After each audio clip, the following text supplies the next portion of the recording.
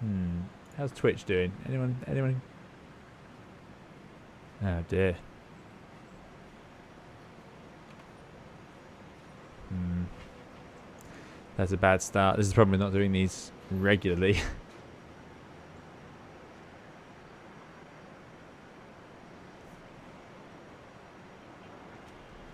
can still see logo on the ground. So it's the stream back up on Twitch. Okay, that's good. And now YouTube says excellent connection. Oh dear. I've got a green screen.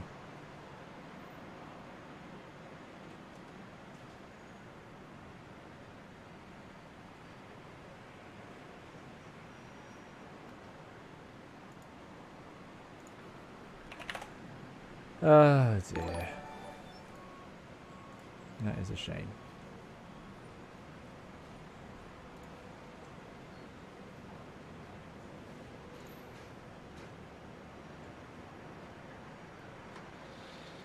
Twitch is still good. Okay, thanks, James. Doing the old reboot. No, YouTube has had it, hasn't it? That's the end of that.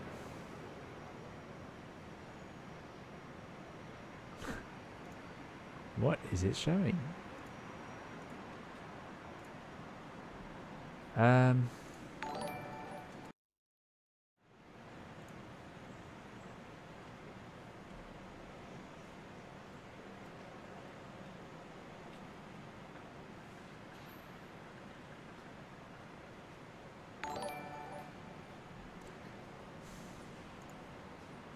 Thanks for those follows on Twitch.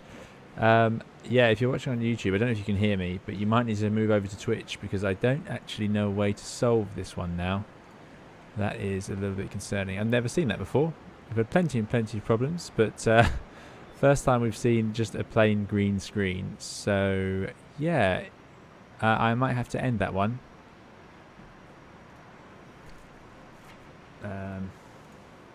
Twitch. How's Twitch doing? Twitch is fine. You should be showing green screen. Thank you. Watch stream says switch to Twitch. Thanks. Liana says Twitch is it.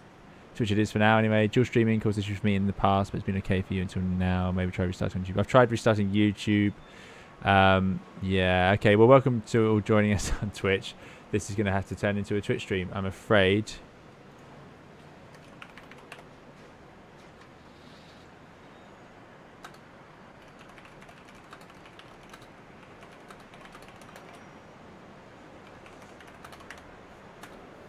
Just put the right link in, and then we'll get going. Very quick to start up a Dash 8 Q100. It's uh, it's not going to take us long to get going at all. Let me pin that.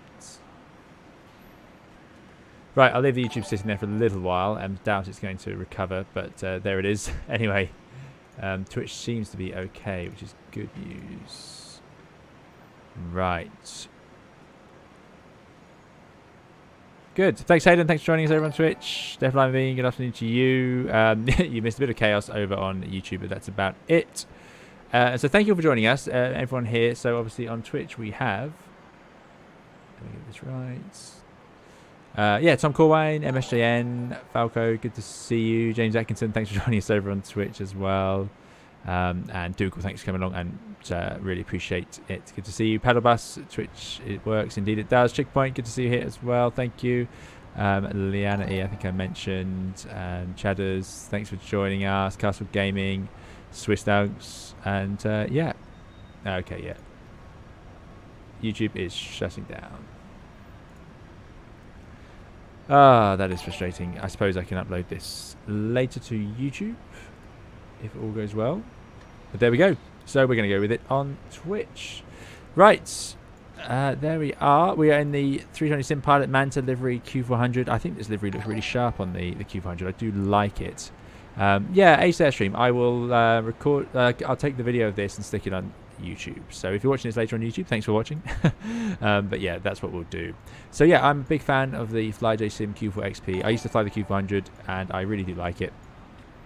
Um, it's a uh, like I say, yeah, one of the best add-ons we've seen for X-Plane, hands down. Graphically, it's great. It's it's graphically on a par with many, I would say, Microsoft Flight Simulator aircraft. Obviously, the sim around it isn't, but the actual aircraft, I think they they've they're at that level. The detail, I mean, just look at it. Look at the nose gear. This is just it's just perfect. Really, really great. Shows what can be done in X-Plane as well. Um, and look at these reflections and things, you know, it's definitely, yeah, it's good stuff. Um, you got these little exhausts. I don't actually know what these exhausts are for. I think it's something to do with the avionics bay ventilation. But there we go. That's an ice detector. That's an angle of attack. These are pitots. Uh, so yeah, all the usual sort of stuff. That's the forward sink drain. I think this would be an ADF antenna. Um, you don't actually have to know which every antenna is when you fly these aircraft because of course you don't spend much of your time looking at them. But there we go. Uh, chroma key stream, yeah. Uh, James is in the Speedbird. Yeah, there we go. Excellent. We've got uh, Speedbird 999. Thanks very much for coming along, James. I hope you enjoy flying along. Quite a short flight today. Uh, we have a flight time of just, let me just check, uh, just over an hour, an hour and 12 minutes. Um, it's just to do with the, the, timings I could get to, to stream today. Um, but longer flights to resume soon enough, I'm hoping. I have some some some dates in mind, but I reckon I can get a stream going. So yeah, looking forward to that. Um, now, I need to do about this Twitch thing? Okay, that's all good. Yeah, so we'll do a cold and dark startup. The propeller idling gently there, pretty nice. Um, and then we will get going. So, uh, 3 Show Simpilot says, Hi, do you still use and recommend the Simple FCU autopilot thing? Looks like one doesn't need a 3D printer anymore. Kind of tempted to buy it if it still works. Is that true? I haven't seen that. So is Simple FCU now available without a printer? Or are you talking about the new Mini FCU? Oh no, 3D printer no longer needed. Hardware and plastic due to the assembly. I did not know that. I did not know that. Interesting. Um, yeah, I, I still have it. I haven't used it for a little while um, because I haven't been simming. So uh, I I thoroughly enjoyed my time. You can see my video on it, and basically it's up to you. Um, but there are obviously other other products coming to market over time now. So um, it's uh, it's going to be a case of yeah, what what do you think? I have only used the Simple FCU, put it that way. Um, but uh, yeah, I really enjoyed my time with the Simple FCU certainly, and uh, I think um, it was or it is a good it's a good Airbus autopilot panel. There's no doubt about it. So I I did like it, but uh, yeah, it's going to be interesting to see what we see with like things like the Mini FCU. Indeed. Um, good. Lauren V, good to see you. Lauren V says, wrapping up a little lunchtime session in, on Cleveland Centre right now. Interesting Canadian domestic flight on Porter Airlines Q400s that is mostly controlled by Cleveland. Oh, there you go. Good old Q400s still out there, still around. um, the reason that the propeller windmills like this is on the Q400 is it's a free turbine, so it's not actually connected to the engine like a piston propeller. It's just like a jet. It's like the fan on the, the A320 you see over there. So it's uh, it can just be blown by the wind, and it happens a lot on the Q400, more so I would say than jet aircraft, because if there's any breeze across the airplane in particular, the bottom half is sheltered by the fuselage, but the top isn't. So you get a wind from the right, say, and it just blows the top around and it just accelerates this propeller so fast, and then you just can't even get near it. And you just have to make do. So there you go. Um, thanks for all these follows. And James Cooper, thanks so much for the $10 tip. Really appreciate it. James says, no option for GBP, so have some dollar. Hope you're well. Thank you so much, James. Really, really kind of you. Thanks for joining us over on Twitch. Really appreciate it. And thank you so much for the $10 tip. Very, very kind of you. Um, yeah, there's no super chats available here, I'm afraid. so, uh, so that is um, that is what we've got for now. Um, but yeah, really, really, thanks so much. And uh, if Four Prawns is here, thank you to Four Prawns as well for um, for your support. But yeah, thank you, uh, James. Really appreciate it. Um, right, good. Jumping inside. Go on a dark airplane. Um, let me. I did have the charts. So let me just check Avitab is correct. Yeah, there we go. So we're parked in Montpellier. This is the Orbx Montpellier. Uh, and we're going to taxi out and we'll figure out which runway we're going from actually. Let's do that now. I did have the weather. My X-Plane still won't tell me the weather directly, but it is 220 at 9. So it's a southwesterly breeze. Hmm. Interesting. So it's coming from sort of over here. Effectively puts us onto runway 30. So we'll do a 30 right takeoff. And let me just work out that weather. So that puts us with 23 degrees. It's a very nice temperature down here. And uh, 2 to 0 at 9, QNH of 1014. We are on VATSIM. I don't think there's any controllers around in this part of the world at the moment. No. No. So it's going to be pretty much up to us. Good. Good, good, good, good. So let's load up the aircraft. Oh. So we're going to have, let's take 62 passengers and it's got some cargo in the forward hold. We were looking for a zero fuel weight of around about Let me just check what we had planned. We are going with 25 and a half tons. That's quite a high zero fuel weight. So we got a lot of passengers. There you go, 72. Don't want to go too high on it. There we go. Heavy, heavy for a dash. This is um, good. Right, fuel-wise, I need 3.3 tons of fuel. 3.3 and that is with an alternate fuel of 800 kilos for Lyon which is quite a way away from Basel, uh, and that gives us 15 minutes contingency. Weather's nice today, that should be good. So there we go. Now we go to load summary, confirm load, start loading. So passion's getting on. No, they wouldn't actually do that yet. We should actually get the airplane powered up. So we're going to do that the simple way. We turn on the batteries. Dead easy on the Q500. Yeah, YouTube has now... I've had to give up on YouTube, I'm afraid. So if you could mention to anyone on there, if there's anyone left, to uh, head over here. um, I can't really restart YouTube very easily without setting up a whole new stream, and that doesn't work very well. So I'm going to upload this later. Um, but there we go. So batteries on. We get the master warnings. And I'm going to fire up the APU. Could do an APU fire test first.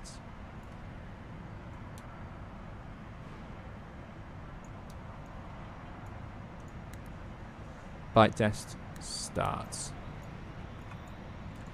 Click all these warnings. Lots and lots of warnings flying the dash because it does not have any particularly good uh, flight warning computer inhibitors, so it doesn't care what phase of flight it's in. It will just give you the warnings.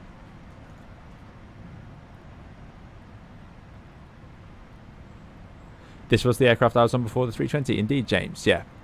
So I flew this for a few years and uh, I enjoyed it.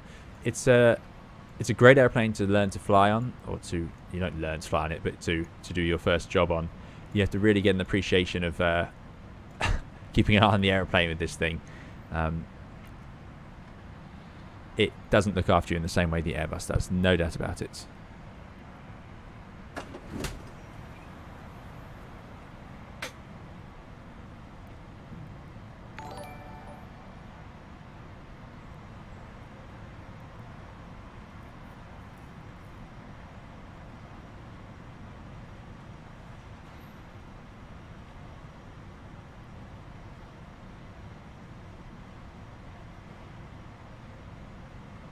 Uh, thank you, Leonie, for the follow. A new Q400 based airline just launched in Perth. Next here. There you go. Flex speed rates. Interesting. Right. AP is now available. Generator goes on. Clunk. Start to get some fans and we'll turn on the screens. PFD, MFD. Get the co-pilot side. PFD, MFD. And we'll get the engine display on. We'll set the ARCDUs to both. Oof, getting some real frame rate hits here. uh, and let's just see what we've done. So DC controllers on, batteries on, and on the APU generator. Anti-ice can all stay off. The engine uh, intakes are going to stay closed. Props off. Pitot and boot air norm. Windshield heat off. That's fine. Exterior lights off. Uh, we're going to stay in feed, obviously. Flight recorder on normal. And we run the engine fire tests. Good. And then we can test the cargo bottles quite a confusing system this really. Um, I don't remember if this is a test switch or an actual deploy switch, so I'm not going to press it. Lights are on, we'll leave the dome light off. APU is running. Get some bleed air. Uh, ignition in normal, start switch and select switch are off. The cabin pressurization is in normal. We'll put on the tail and logo lights and the wing inspection position lights. Emergency lights to arm, that's what you'd have to have before the passengers go on, certainly. Fasten seatbelts on, no smoking on. Tesla cautions. And all the others. Set it to bright. Oh, bright that way. Then we're going to have the reset fan on. I'll leave the bleeds off for now. And that's it. I wonder if the bleed air... Does this work? Do we need...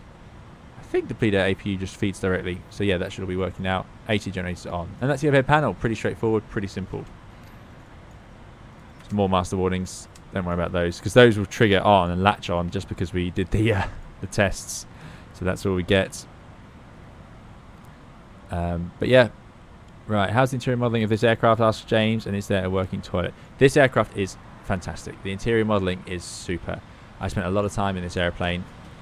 and let's see if we can go through the door. Frame rate is partly caused by the scenery. Ridiculous. Just ridiculous. However, and I've said this before, the Q400, at least the ones I flew, did not have a uh, air pressure toilet. It was, um, look at that. Since when do we get physics in these things? uh, can we put the CTAP as well? Quite important. Yes, you can. Ridiculous.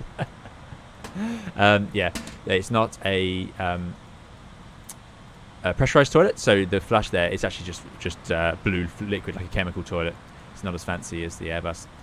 They've even got a little flight attendant panel here, which can be used to mildly adjust the temperature. This is true of a lot of aircraft. You can they, this adjustment is only a couple of degrees. It won't actually make much of a difference, frankly. Um, you would have the boarding and lavatory lights potentially on.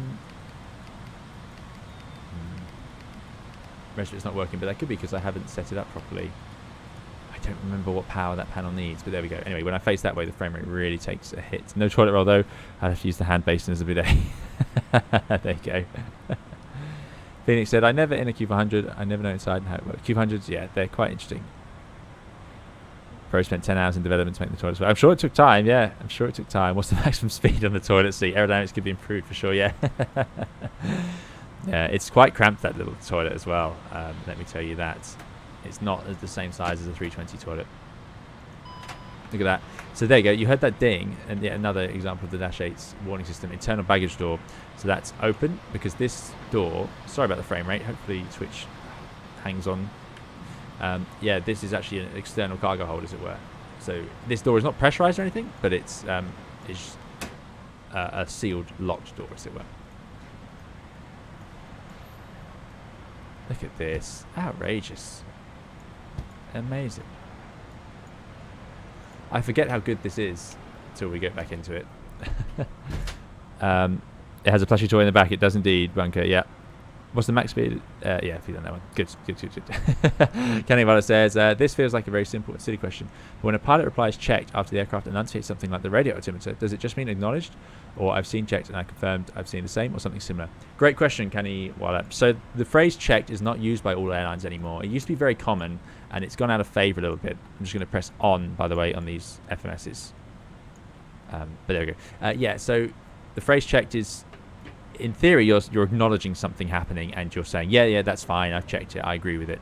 Um, some airlines use it in response to checklists or in response to every call. So you could say 1,000 feet to go, and then you might answer um, checked, and then you might say uh, out, and then they'll say checked, and then they'll say, you know, or, or any combination of these things.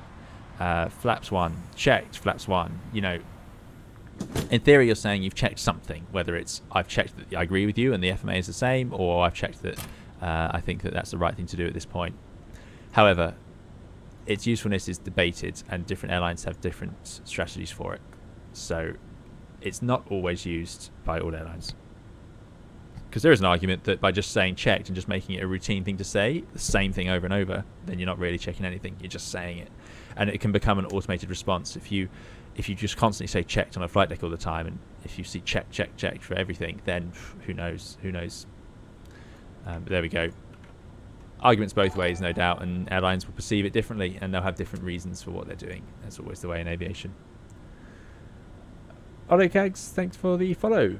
Right. Uh, no, so the most difficult part about remembering to fly this aircraft is this universal FMC. It is something else. Um, I'm going to struggle, and I do apologise.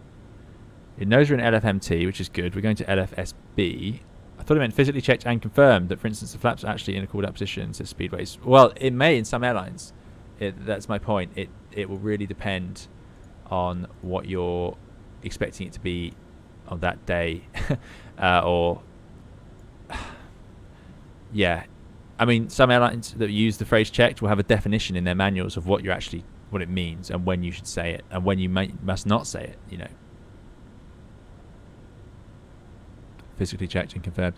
Yeah, because it could be from FMAs, couldn't it? So, um, uh, okay, you could say, uh, okay, 3,000 feet set, and then the other pilot could say checked. So what are they checking? Well, they're checking you've set 3,000, I guess. Are they checking 3,000 is right, or are they just checking that that does say 3,000? You know, that's what I mean. Bit of a difficult one. Good. So we're starting in LFMT before I get into a huge uh, debate about the semantics of using the phrase checked. and we have agreed our departure runway. So let's see if I can remember how to do this. That was a bad start. Uh, it's data, I think. No, it's list. And that would be for the airways. Okay, so we got that bit.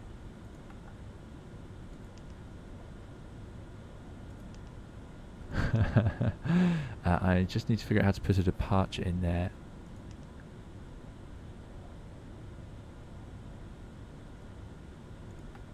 You'd never believe I flew this airplane. And we had to do, you know, we had to load this up every time. I remember, I remember. It's flight plan, select, menu, departs. There we go. Goodness me. Uh, three zero right, which means typing in number four. This is I. I don't know if the reason I don't like this FMS is because it's this it's so different, or whether it's because I don't like it because I think it is genuinely not designed in a way I find easy to use. It could just be I'm not used to it because when I remember using it and not being so upset about it, so or not finding it difficult. I'm not upset about it, but yeah. Anyway, we're taking off via November Gulf, which is an NDB over here, and then we're heading along our route. So is there any restriction on these departures? I don't think so. 30 right, which is the 6th November. November Gulf, 6th November, which is number 14. And none. Fine. Flight plan, there it is. So let's just check it does make sense. We're going to take off. We're going to go 303 to 1.7 miles. Then we're making a right turn. And that's going to be onto 052. And then at 2,000 feet, we make another right turn, intercept the 052 to November Golf. Not bad. From November Golf. So we select it, list, and go back to our chart. We're taking, oh no, we don't do that. We're doing direct. So forget that. I was all excited there. That was a big step being able to remember how to do that part, which I only discovered accident just now. Um, no, we don't need to do that either. Oh dear, this is embarrassing. There we go. Molen. For my first stream back, I really should have done the uh, Airbus, shouldn't I? And then Mike Tango Lima. The only good news is I did update the database for this stream, so that's that's unusual for me to manage that. So pretty happy about that. Oh, there we go. Ah, Viper says, I posted a sneak preview of the new version of my Manta delivery on Discord. Thanks very much. Let's take a look. This, yes, I need to... Uh, where has it been posted?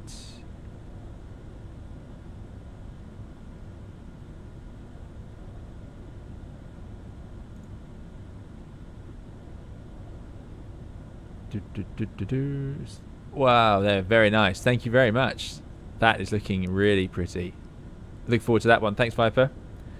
Yeah, upcoming livery there. Really, really nice. It's good fun. Need to take out the uh, ToLiss for some flights, definitely. Uh, right, Mac Tango Lima, then we're taking an airway, which you don't do like that. That's only how you do departures. I can't believe I managed this for so many years. Mac Tango Lima, list. Then we're taking Bravo 16. Plain language.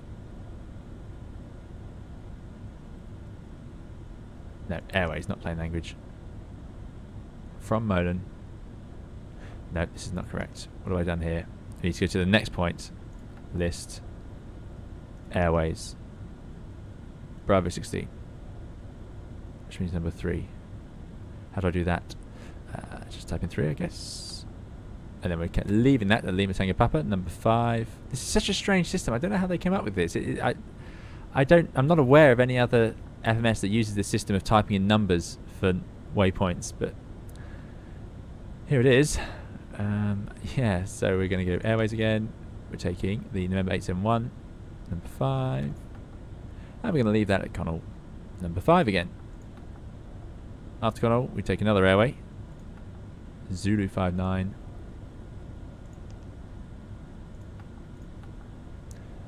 Uh, to Lima, number 2. I would say this is my and then that's our arrival. So then we can put in our destination of Lima Foxtrot Sierra Bravo, which is Bal Mulhouse. And we go here, we go menu, arrive. Then I'll 8 kilo for my 3 3. Not unreasonable to expect 3 3. Number 2, none. And we'll do the RS Zulu 3 3, number 4. Via Altic, we're coming from the west, aren't we? Good. There we go. We have a route all the way through. Good. Good, good, good. That's good. Th uh, thanks, Viper. Yeah, so this is a good aircraft, isn't it? So, yeah, nice to see some liveries coming for it. Uh, X-ray Yankee or Zulu approach asks Desert FX. Um, it's Zulu is the most common. X-ray Yankee by ATC. They're supposed to name the Zulu the Zulu because it's the one they use the most often. Why that is, I don't know. I'm sure there's a reason, uh, probably historical, but I don't know.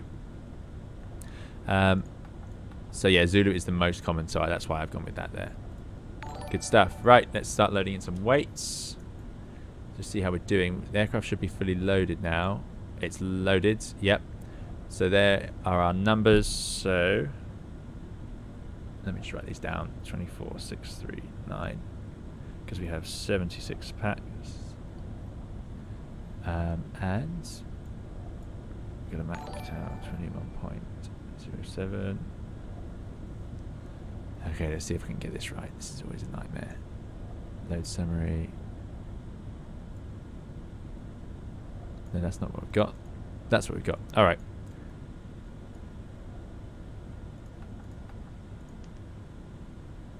Are you going to select first? 76. Ah, now how do you do the zero? I genuinely don't remember. Hmm.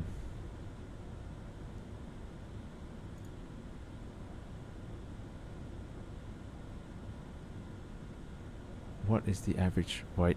This problem comes up a lot when I fly this add-on. I don't remember what the assumed weight was.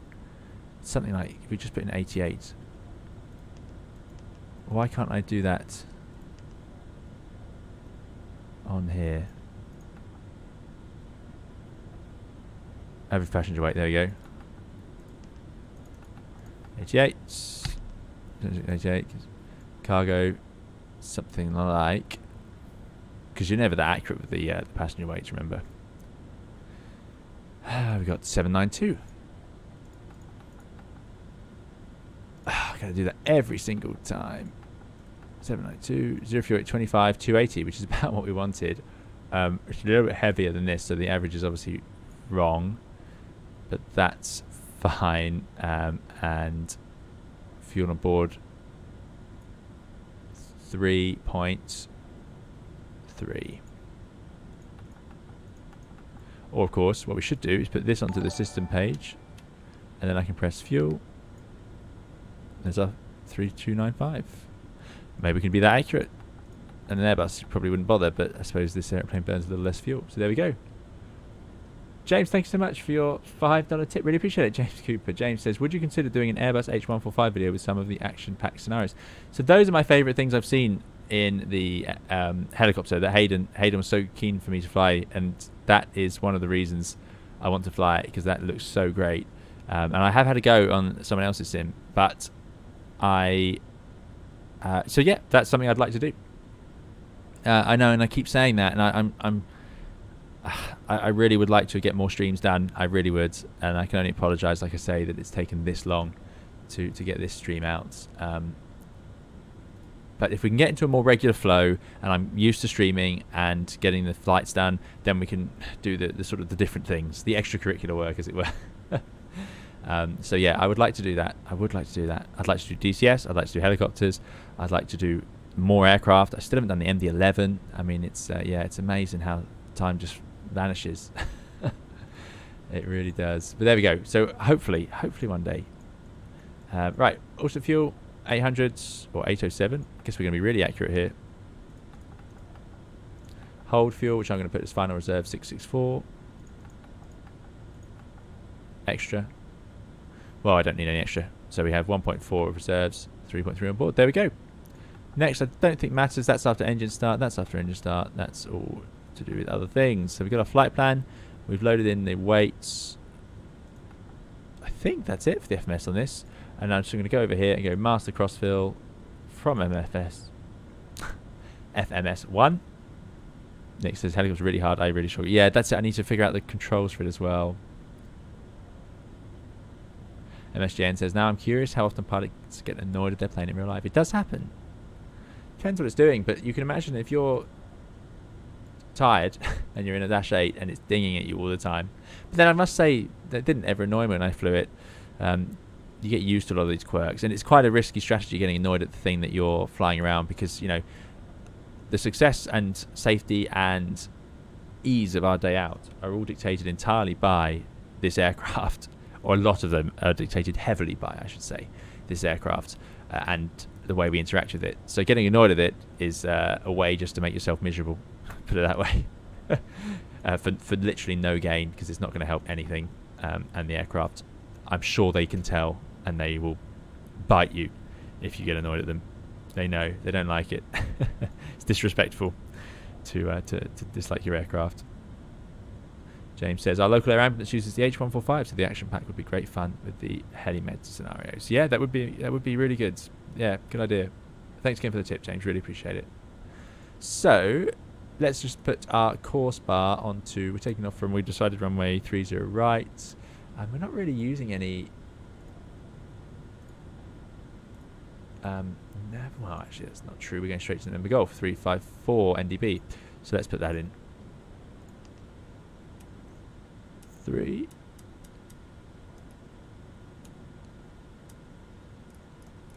Five. Four. And this is the magic of this, the best radio system I've ever used. And I maintain that. I absolutely love it. 354. There we go. So, that is our NDB, and we can display the NDB needle if we go down here, and I'm going to have it on ADF1, and then I have this on FMS2. So that points to the next FMS waypoint. This will point to the NDB. I'm not worried about the course bar particularly. I know I'm making a right turn and essentially going to track 052 and eventually um, I suppose we could put 052 on.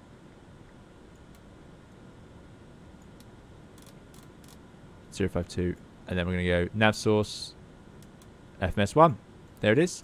Heading, we're taking off from runway three zero, so let's put that on to heading three zero.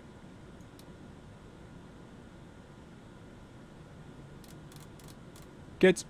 And stopping at an altitude of, it doesn't particularly say, it's above 2,000 feet, then November Golf, clearance will be from air traffic. Let's just go for 5,000 feet initially. And remember, modes in this, we must always have ALT SEL. So I'm going to press the go around buttons to bring up the flight directors. We get wing level go around. I'm going to press heading and I'm going to press ALT SEL. And that is roughly what we want let's set that QNH now. Not the speed bug, sorry. QNH of 1014. Please don't do that. 114, which is about sea level, which is correct for Montpellier and synchronized. Good. So if I put that back to the systems page by refreshing it, we get the electrics over there. You can see that we're not draining anything. That's good. Are you flying Spirit Yellow or Northwest Bowling Shoe? I've never thought of that. to Detroit. Yep, that's on the cards. Q400 was next on the list, but uh, yeah, we, we can get into a Northwest or Spirit aeroplane, definitely. So Spirit Detroit based? Lauren says, don't have a moment to look away when I'm working a whole centre toe down, even a fairly small like Cleveland. Yeah, I bet. I bet it's busy. Liana says, "Oh, joke about Airbus pilots. The new pilot will question, what is it doing now? The experienced pilot will say, oh, it's doing it again.' I haven't heard that one. I've heard many like that, but that one's slightly, that's, that's quite good. I like it. Yeah. We're not allowed to say that, by the way. The phrase, uh, what is it doing now? That's, uh, that in, in a sim check, you'd get in trouble for that because you should know. And if you don't know, you should stop it and do it yourself. is the theory. Does this hatch open as well? Of course it does. I'm not sure what way I need to move it, the mouse, but I can see that it would if I knew what I was doing with it. anyway, that's a ventilation hatch. You wouldn't tend to open that. You'd be very brave to open it just for ventilation. The windows don't open on the Q400, so like the 787, you have to have a hatch in the roof, and 747, um, because the, these windows at the side are sort of glued in. Quite good windows on the dash. Nice big panoramic view, and just one bar. But um, yeah, that is uh, not going to open. Good. I think we're pretty much there. I think it's time to go into the checklist. Reset fan on. External check completed. Alternate gear doors landing inhibit switch. Down there, up there. Closed norm. Flight deck preparation completed. Briefing completed. For our checklist, let's just see what else might we want to do. So APU's on. We don't need the bleeder anymore. I'm just going to turn that off. Um, I think we're pretty much ready to go. The lights are all on. Yeah, okay. Circuit breakers checked. Passenger signs on. Emergency lights arm. Anti-skids. I missed one. There it is. Anti-skid should be on. Let's run through our flow down here. We didn't do that. Doesn't matter what that position is in. We're going to go 104 on the standby altimeter. Gears down. We have our three greens. Moving down, we have the FMS.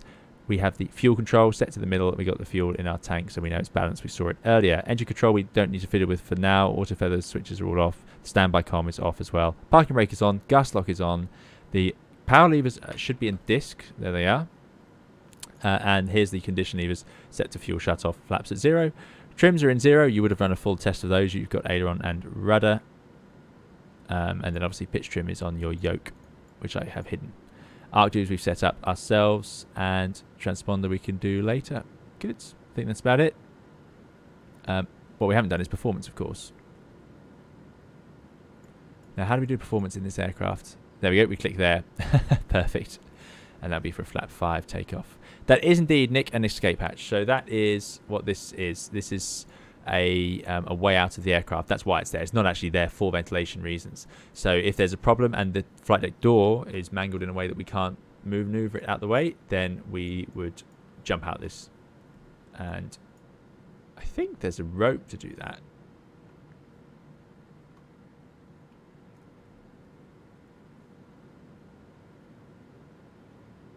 Gosh, I don't remember. Maybe you have to just slide down. Maybe it's considered low enough. I feel like there should be a rope. Certainly is on the Airbus, but there we go. and there definitely was on the 747. Um, there's not a touchscreen. No, this is not a touchscreen on the real aircraft. That's just for the sim. You would get these numbers from your performance manual, and then you press select, and then you can select through them and, and type each one in. Anyway, uh, good. So anti-skid is now on. Fuel transfer is off and checked. Emergency brake pressure on, and then we can check the brake pressure over there. So park brake is pretty low actually, but that's going to top up in a second. We can also, think you need AC power for that. Um, but there we go. Power levers are in disc. Condition levers fuel off. Take off later reviewed.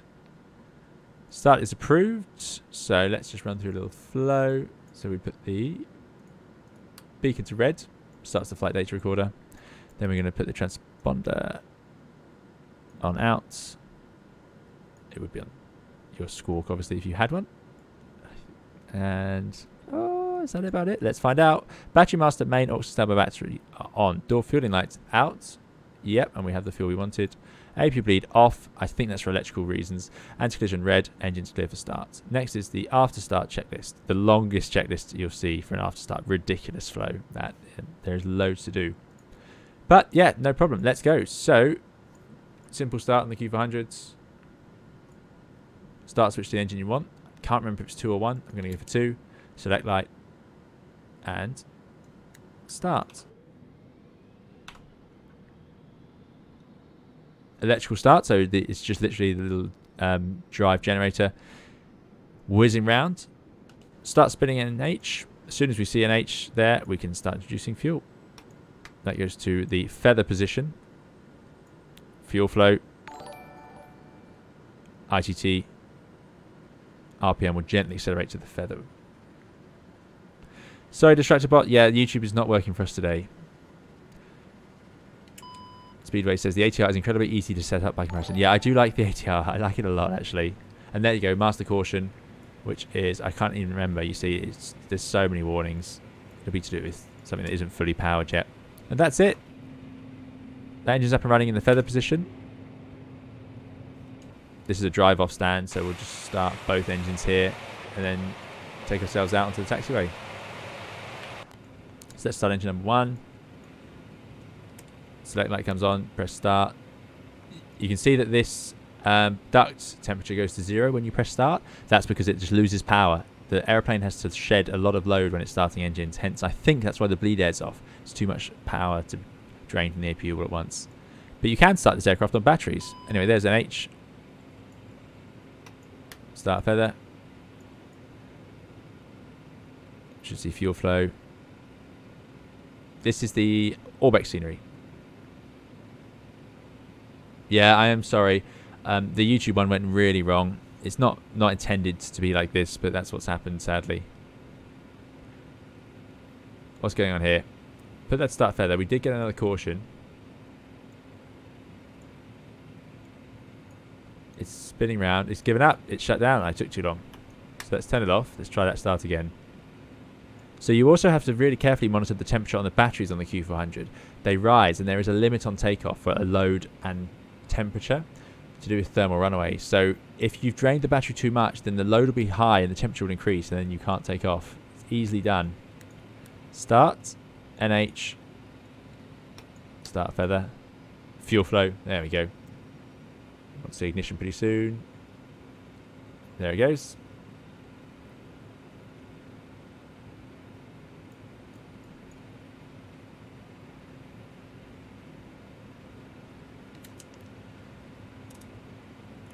Let's tune in Unicom.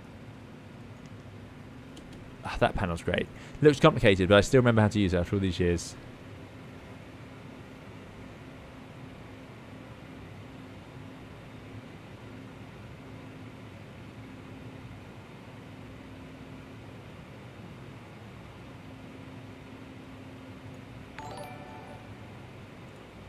Thank you, Anthony, for the follow.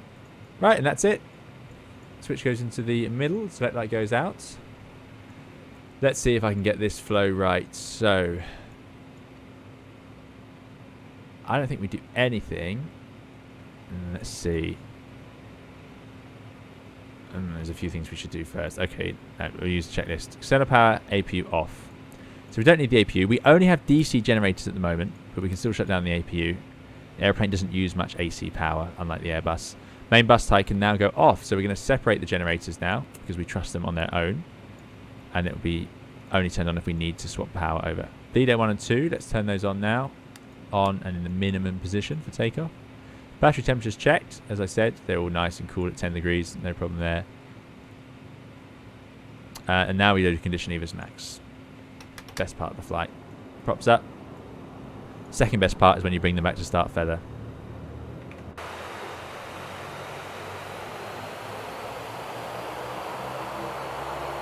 And now she's poised, poised for, for departing. Love it. Fishlever's max. Standby high PTU control on. Now you can see we have brake pressure, hydraulic pressure, and then that brings the standby pressure in as well. Hydraulic pressure quantity checked. Hide 3 isolation valve on, on, and now we run the elevators and check that that's still working, which it is. And then off again.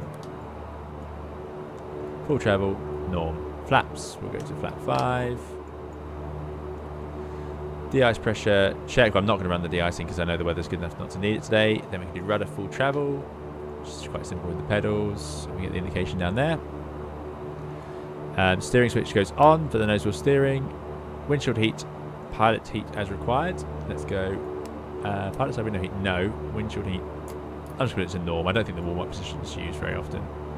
Flight taxi to taxi, that is in taxi. If it's in flight, all the ground spoilers come up because the airplane doesn't know it's on the ground, so that's these flight spoilers.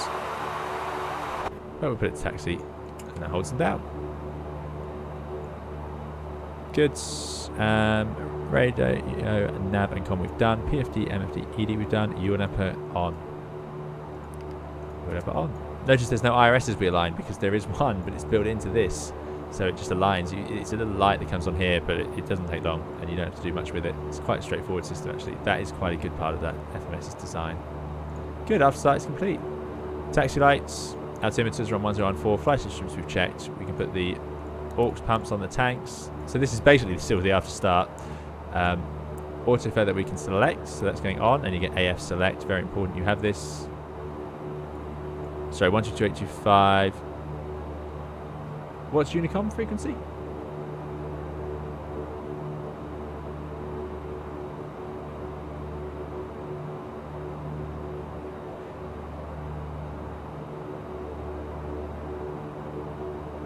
Two two eight, isn't it? Yeah. There we go. You can tell it's been a while. Simple things like that. 1228. Perfect. Thank you. Um, now I might hear someone. Order feather select. Flaps, have five set and indicating. And trims, three set at zero. Take off warning test. So let's release the parking brakes and hold on the toe brakes. And take off warning is over here. Looks good. Condition levers are at max 1020. Pitot statics can come on. You'd normally do that probably entering the runway. There you go. That's a caution for the parking brake. Every time you set the parking brake, it gives you a warning. Good for situational awareness, I suppose, but also annoying. Ice protection not required. Caution warning lights check. Flight clearance reviewed. Cabin secure. That is the taxi checklist complete. Next is a lineup. Good. So, let's get out of here.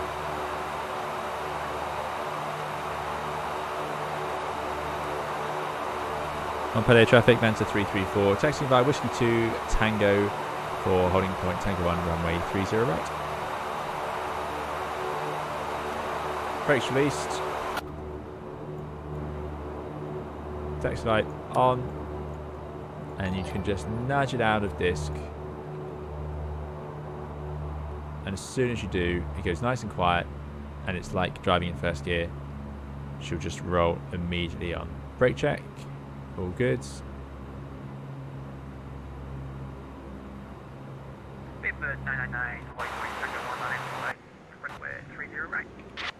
I'm really surprised about the frame rate on this uh, scenery.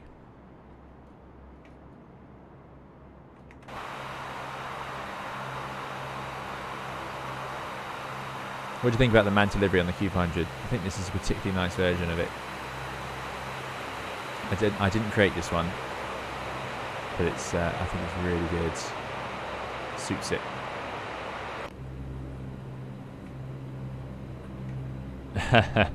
a lot of people are still eagerly awaiting dual stream with the Flight Data see Any plans in works? Sadly, like I say, I've I just not had the had the chance like I wanted to get anything done for the channel over the last couple of weeks. It's been absolutely hopeless. So um, nothing, no change there, I'm afraid. Um, which is not good. YouTube does not um, support channels that don't regularly upload. And I know that there's some other channels that have been uh, very prolific with content, so it will um, it will obviously, you know, it can only suggest what's what's there, can't it? So I need to I need to get more time in for this these streams. Um, yeah, like I say, I'm, I'm quite disappointed, but hopefully as we go into the future that will change. I know I've said that before though, so I can, I can, yeah, I can see some gaps coming, which I'm going to be using to stream. But there is the the thing in the summer in airline flying is it's very busy, and if you're flying all the time, then in your time off, sometimes you know, I think it's good to be doing things with family and friends um, in the, the time off you do get, um, and not to uh, get get too lost in um, in your days off, I suppose, because it could be quite tiring to go.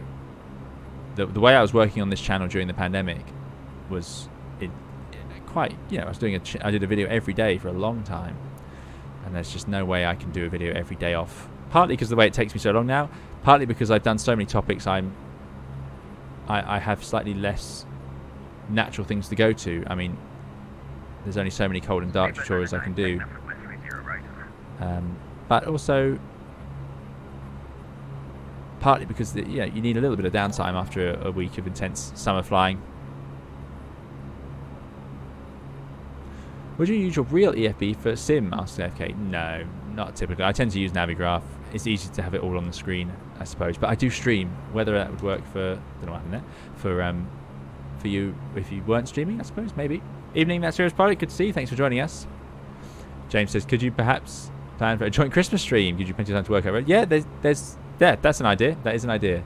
I have a very, very busy summer coming. um, very. But I'm hoping by autumn, especially. You know, usually in winter it's a bit quieter. So, yeah. Yeah, it's not a bad idea. Not a bad idea, James. What do you think of the clouds? I don't know if it's had an update, to be honest with you. I haven't flown X-Plane 12 in a while. I think it looks quite nice. You can ask me about Microsoft Flight Simulator. Indeed, Groman. I intend to be flying that again soon on stream. What airplane do we want to see next? I would do a poll, but I can't do polls on Twitch.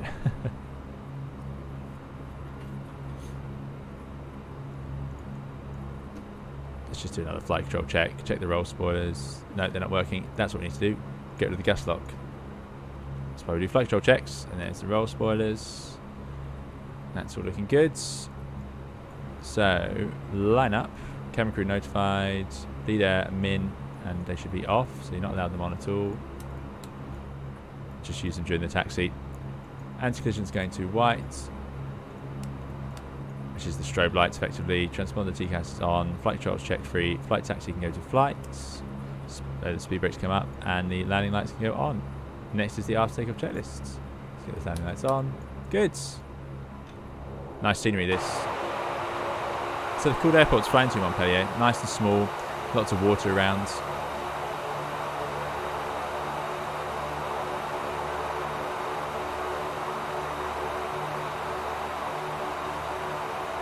Yeah, they, they do look good. Although if you look this way, there's there's too many small ones, aren't there? A little bit too defined. But let's see how they look as we get out there. Montpellier traffic, Manta 334, runway 30 right, lining up and taking off, departing to the east. Northeast, I suppose.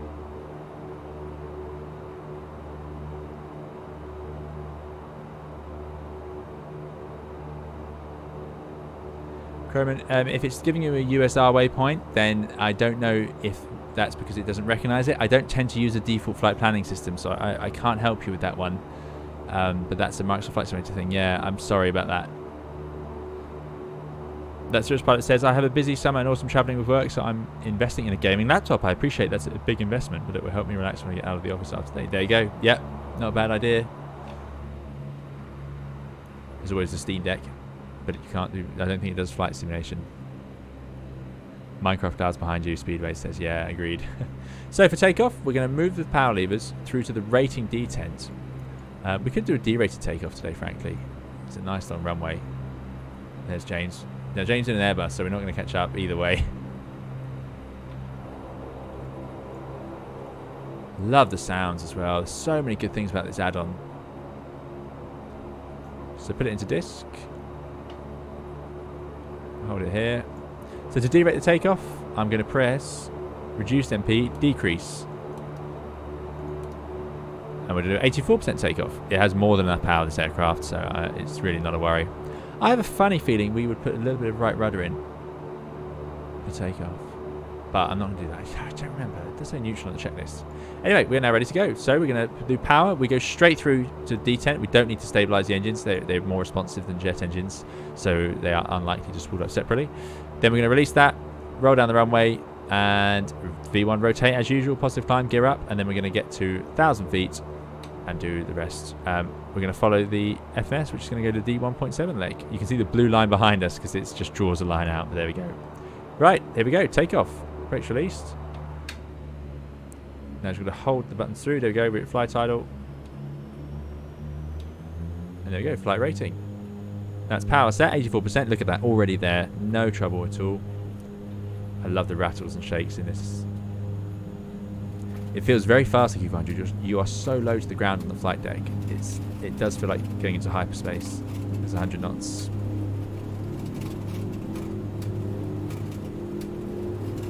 V1 rotates. Bit of right rudder as you do. Keep rotating. You actually get off the ground. and positive climb. Gear up.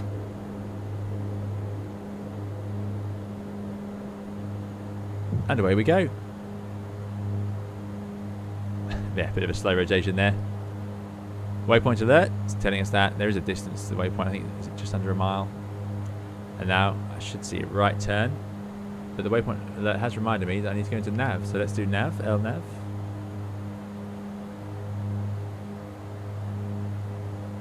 Around we go to the right.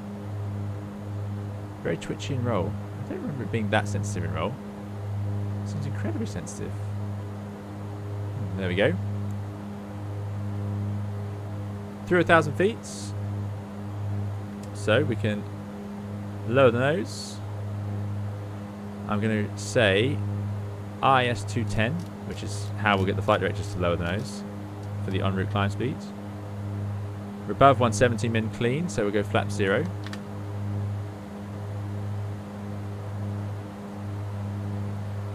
Going to put the autopilot in. I'm going to put the bleeds on a min, so we can actually, uh, sorry, on a norm, so we can pressurize. And we'll bring the condition levers from 84. See how it goes amber on the bleed, because it's saying you shouldn't have this much bleed being drawn during takeoff power. And now bring the condition levers to 900. And then we'll get MCL, max climb thrust. And there we go, LNAV IS 210, ALT SEL 5000, 210 knots. And that is us on our way. After takeoff checklist, landing gear up, flaps are at zero. Climb power is set, speed air 1 and 2 on a norm. Standby high PTU control can go to off. Auto feather no longer needed.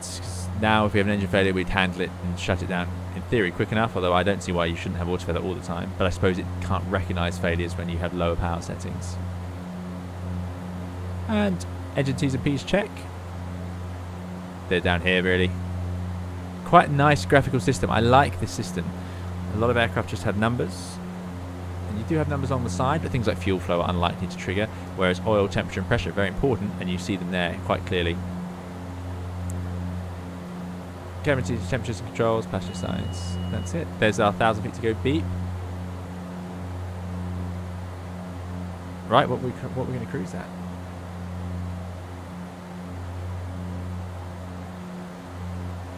Two four zero. We're going to go all the way up to the dash eight. That is all the way up. Will something break if you turn the bleeds to normal max if you're still at max RPM? No, it, it's just you're demanding too much power from them. I'm just going to press IS again so that you can see how there it's trying to overspeed on me because there's no auto throttle system. So it's just going to keep accelerating. So you've got to be quite quick with this stuff. Or not quick, but careful. Uh, anyway, 24,000.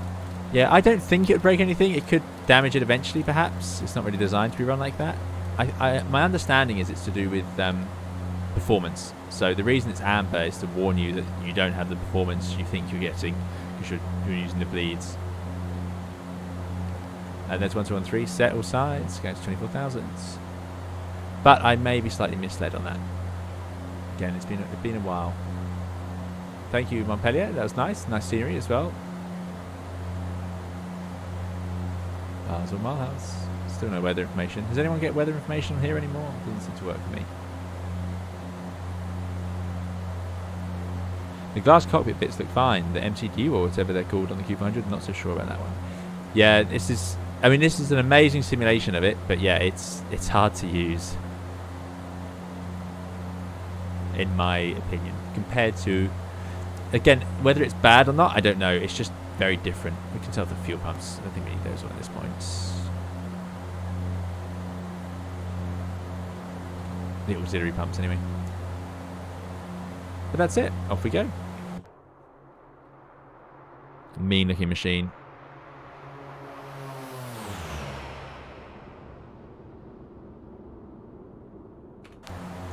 Very good at performance, the Q400, so no issue climbing straight up to our maximum cruise level. Oh, heading bug. I don't think you can't click the heading bug on the Q400. You do just have to keep updating it. I'm just going to set it to the next leg in preparation.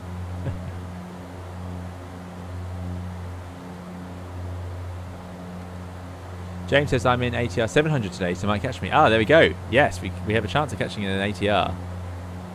Now, why can't I see... How do we get through...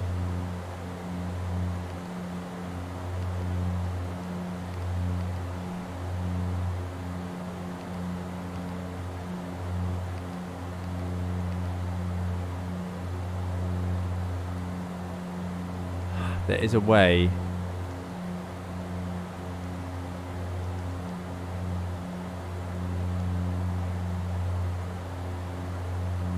I wish I remembered it. There is a way on here to change the TCAS up and down and so on. But I just don't remember what it is. Oh, it's, oh, well, he's on TCAS to display it. Auto.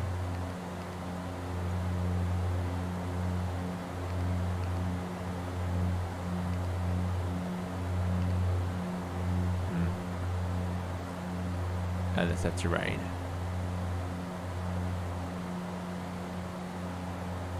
Next says, watch the Captain Joe video about how turboprop engine works. Fascinating, I had no idea. Indeed, yeah. Yeah. Captain Joe's done a, a good video on that. I think I saw that one. Through 10,000 feet now. Dash 8's quick to 10,000. A bit slower after that. Those can all go off. Uh, fasten belts can go off. Wing inspection we don't need. Still no ice. No warnings up there. Looking good. Almost at the number goal. And look at that, already way up.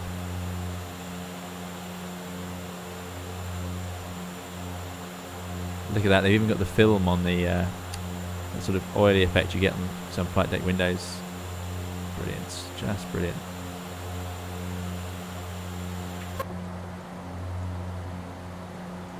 So,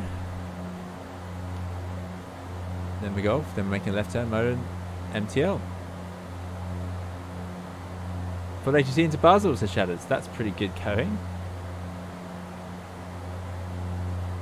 No, that's um, LSGG. That's Geneva. Is Basel online? As we get closer, will it show up maybe? Let's see if my VATSIM apps are still installed. Hopefully.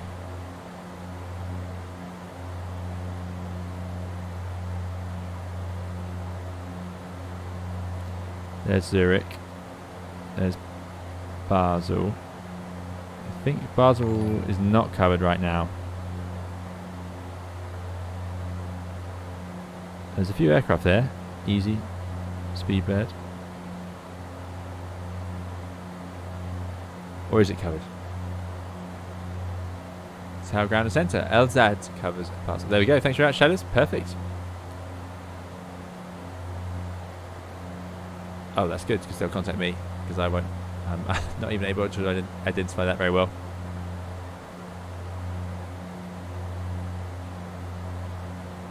That Cirrus pilot says, I recently did my longest flight ever in my Cirrus to Cannes.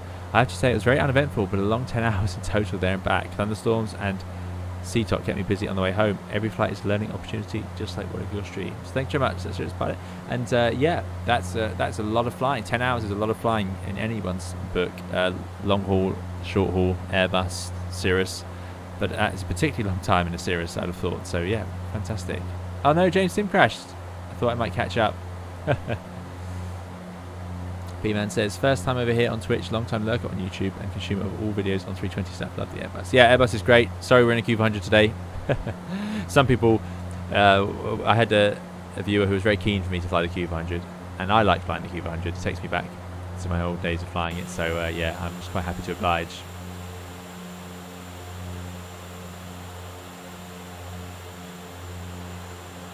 But we will be be in the Airbus soon. I think what, what's which Airbus are we due? Is it the Fenix? I'd like to fly the A310 as well. And I understand the Beluga is now compatible with X-Plane 12, although obviously we won't be an X-Plane for the next one. So we did the A320X last, then we did the ATR before that. That was quite fun. I remember the ATR stream. a bit chaotic. Then we had the MD-80 before that. And we're in X-Plane before that. Oh, we've done quite... X-Plane has been not too far apart. So yeah, Fenix has been a little while now. In fact, we've done the fly-by-wire more often than the Fenix.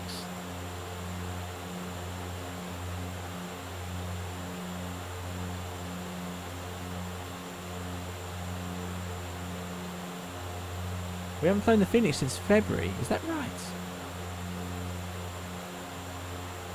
And the A310 since February. Where is time going? Ace Airstream says, got the Q500 six weeks ago and love it. Even more fun than ATR. Still can't land perfectly despite your tutorial video. Could you late it in flight revise flap 1535 landing techniques? I can give it a go, but there is no perfect way to land a Q500. it as my I think my video had in the title more luck than judgment, and that's my uh, I'll stand by that. Leanna says plenty of coverage on the Fenix. Find that. There we go.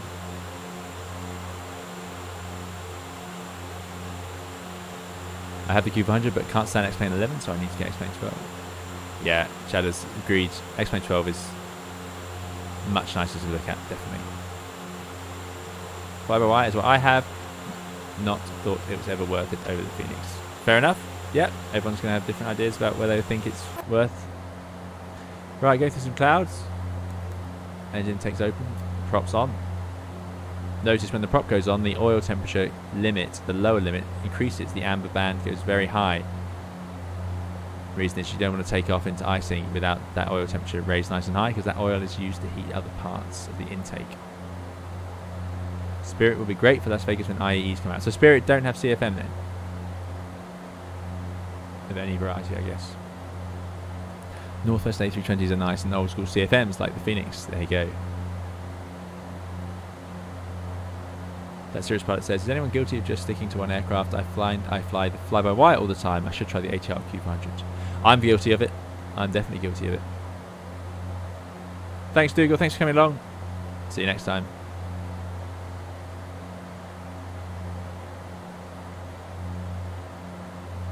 Now, I don't remember the Q500 having this level off banana. That seems like a new feature or a fancy feature. I'm not sure they all had that. Spirit is IE and Pratt & Whitney. Oh, there we go. Pratt & Whitney Neos. How interesting. Very rare.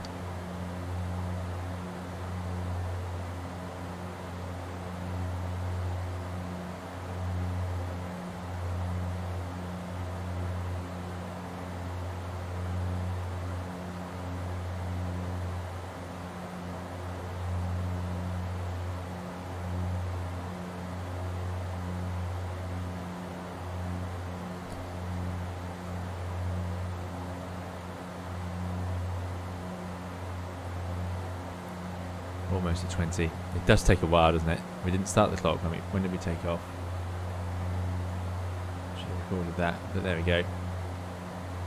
Finally made it through 20,000. 49 minutes to go.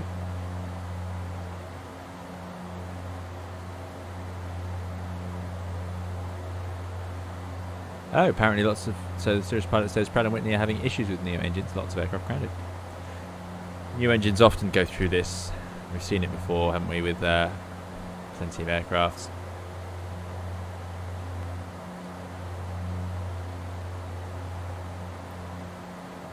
P-Man says, after learning and loving the A320, I tried diving into the 737. Oh dear, too much stuff to do for me. Do you know if it's just me? No, there's a lot of... Um,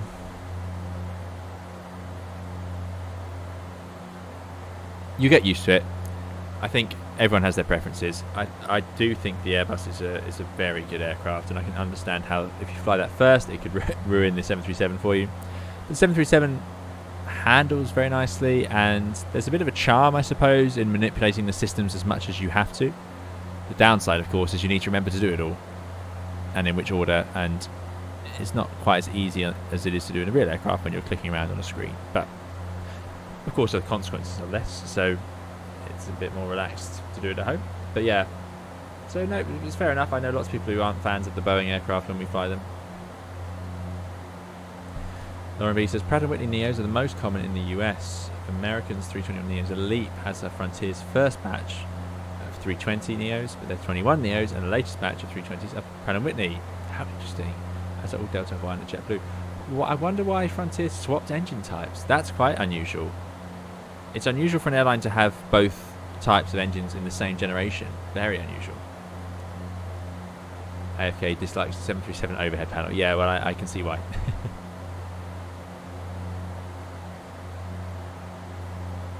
so, uh, Virgin America's gone then, is it? That, that sounds like a crazy question, but... Is it gone? Did it go a long time ago? Is Virgin Australia still going? I know they had trouble. Wizz Air and Lufthansa both fly the Pratt & Whitney. Interesting. I didn't know Lufthansa flew Pratt & Whitney. Indigo also got both leaves Pratt & Whitneys. They just wanted a lot of aircraft now. Fair enough. I suppose if you need the aircraft and the engines are being made. Oh, Virgin America's been on for five years. There you go. The world moves on. Was Virgin America low cost or was it like a Southwest competitor? I Don't really know.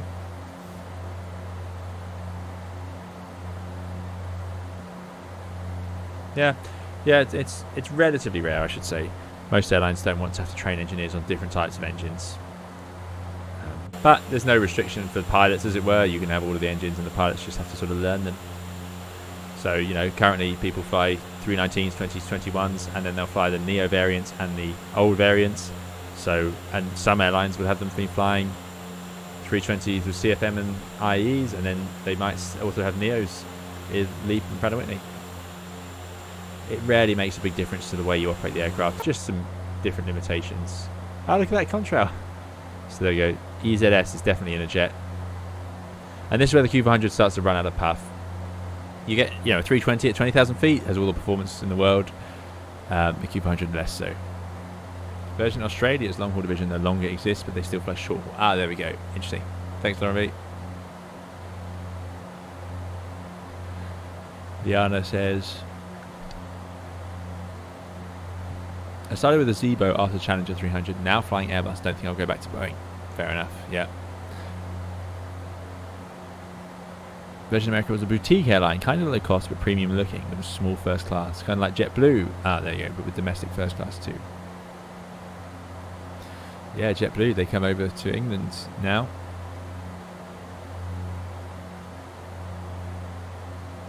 Which is, um, yeah, a long way for a 321.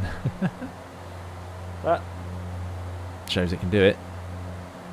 My favourite family variant would be the 320. Most people prefer 21s. I still prefer the 20 personally. 21s ride turbulence the best, I suppose, but aside from that, you know, you're going to be a little careful taxiing them around. They're quite quiet. That's a nice thing about 21 Neos. Especially 21 Neos are really nice because they're so quiet on the flight deck with the engine noise and so on. But then by the time you're in the cruise, they all sound about the same.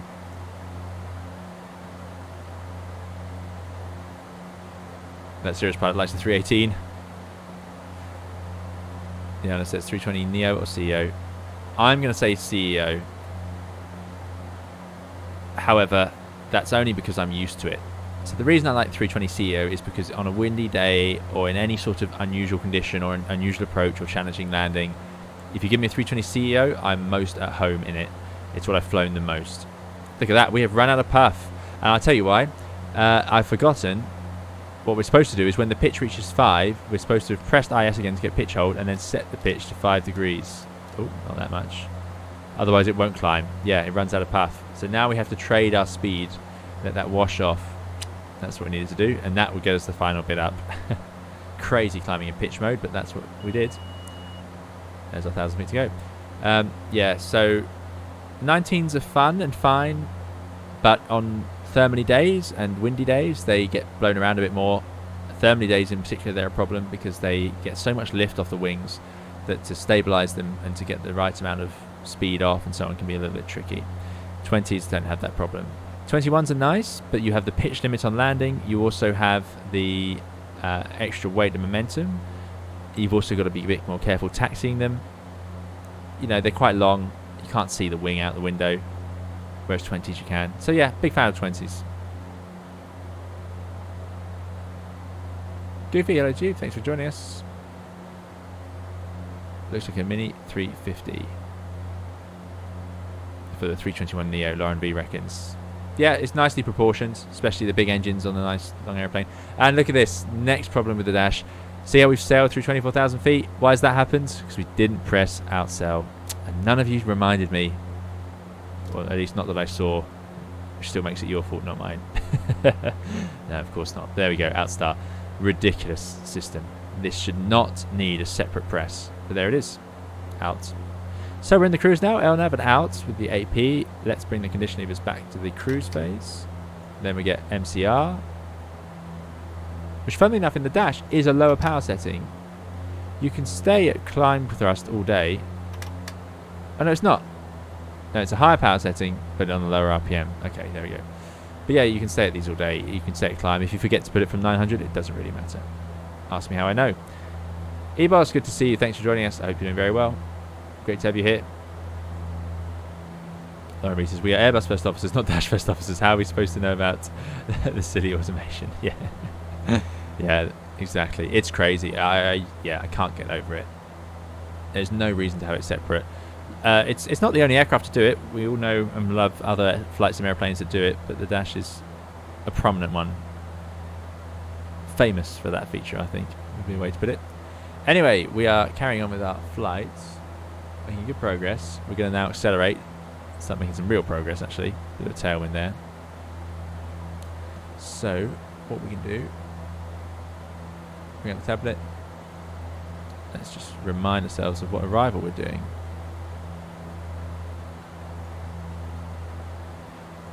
Going via Altic. By the Lume 8 kilo.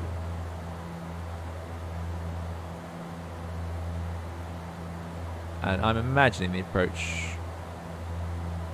is onto runway 33. Let's just check the weather.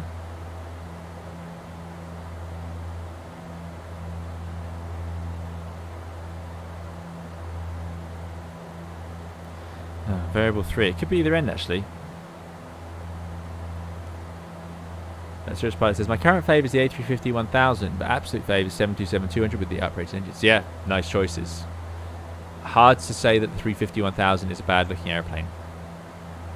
I, I would perhaps say its tail is too small, but aside from that, I do like it. Is the jittering on the NDB realistic? No, no. NDBs tend to be quite inaccurate. They do swing around a lot and so on, but they wouldn't jitter like that, no. Good spot. Um, yeah, variable winds down there, so it could be the ILS Zulu 3-3, but likewise, this arrival puts us to Altix, so let's prepare a chart for the ILS Zulu 15, just in case. So that these all get us to Altic. Um, there's the approaches, and we just need the transition. Oh, so it's just a vector. So from Altic, you just head, carry on on 091 east, basically, towards the airport, and they'll vector you. That's fine. Good. And then we can have a ground chart ready. Not come about the works. Such a nuisance, but there they are. Always, effort's always working. What chart's this? Luckily, we're not in a 340-600. We're not in a 747-800. We're not in an Antonov 124, an A380-800, a Boeing 777-300. I don't know what the C5M is. Is that a Galaxy in military? or an A350,000? Somebody don't have to worry about the red. We did. There we go. Arrival's pretty straightforward, really.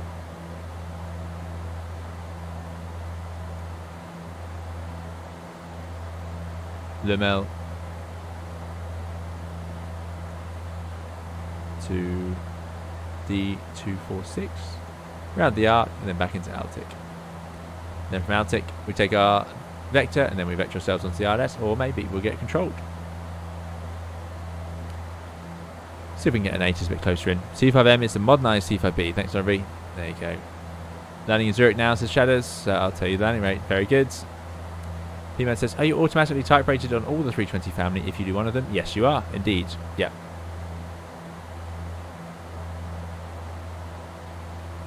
That Cirrus Pilot says, yes, it normally just points to the nearest thunderstorm. Yeah, so NDBs are, they are hopeless. Um, you don't see them very much now. I, they don't tend to move this quickly. But in terms of swinging around and inaccuracies, yes, they, they do move around. a Yeah. However, that could depend on the aircraft. Maybe that, um, maybe the modern or maybe some aircraft dampen the reception so it doesn't jitter. Don't know. 224. Here we go. Finally making some progress. So we are still at the uh, rated cruise power here, and this is all we're getting.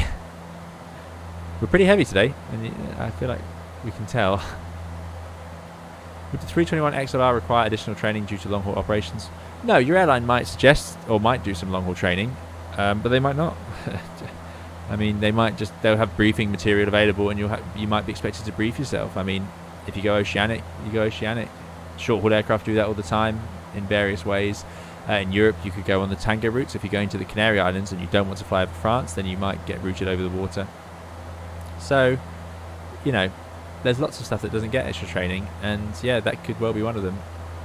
Now here's the thing with flying turboprop, we're under the clouds. So what if our cruise level was in this cloud layer? Then you'd be getting bounced around and icing the whole time. i got to say, this is good looking clouds though. Not bad, just just a little bit, yeah, too bitty. Just a bit. But this is a nice view out the front. That sort of dark underneath. I like the, the shading on these clouds above us. But yeah, you get yourself stuck like this and then that's all you can do. Just sit there. Lauren Reed says V1 says Oceanic Ops his operator is just a CBT. Yeah, so CBT is computer based training and yeah, that's common. That's all you'd need. The reality is sim time's expensive and there's not a lot of sim training you would that needs it I suppose. It's more theoretical. But yeah, I suppose your question Viper was additional training and yeah, additional training of some variety is likely but it'll be quite limited in scope. X-Plane 12.6 will bring 12.06 will bring some further improvements to cloud rendering. There we go. Looking forward to that. It's, it's not terrible, and it's certainly a massive step up. And every now and then we get glimpses of greatness out of it. Oh, getting some rain. X-Plane rain there. Such a fast looking airplane this.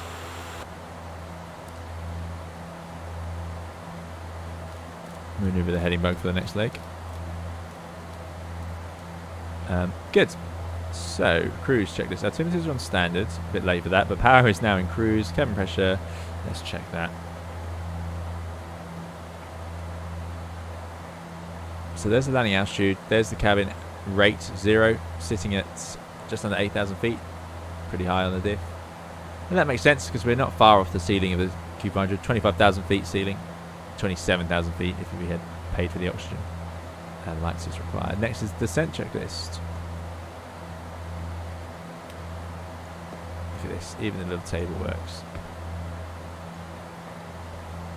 This table is good. Back when you used to have A5 size charts, so Jeppesen charts would be an A5 booklet and it would fit on there perfectly and then clip. And you could close it if you needed to. You also had obviously your yoke, which they don't use click spots for here. Look at that, you can move the pedals. Outrageous. Um, yeah, so you could clip it to your yoke, which is the most common place to have it. And the table, I think that were the only options. And then this has a little light here that lights it up.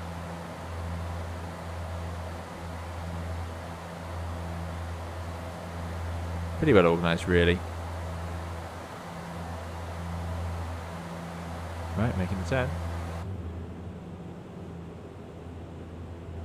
Wouldn't be this quiet in the cabin though. Desert says, I wish X-Plane 12 had visible icing on all aircraft. I hate flying and getting icing on the 172 and just fall out of the sky. Or another aircraft with ice detection, it gives me an alarm. I look outside the window and nothing's there. Yeah, ice is always a nice feature, a bit of realism. Although we saw how it could get a bit over overactive in Microsoft Flight Simulator. But yeah, it's a nice bit of realism. Q400 sitting in the clouds. In that level above us there, I would be expecting it to get a bit of ice. Yeah.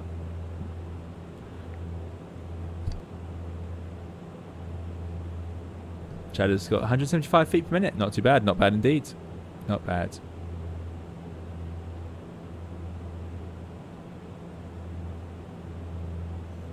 So, when it comes to um, landing the Q400, we have two flap settings, 15 and 35.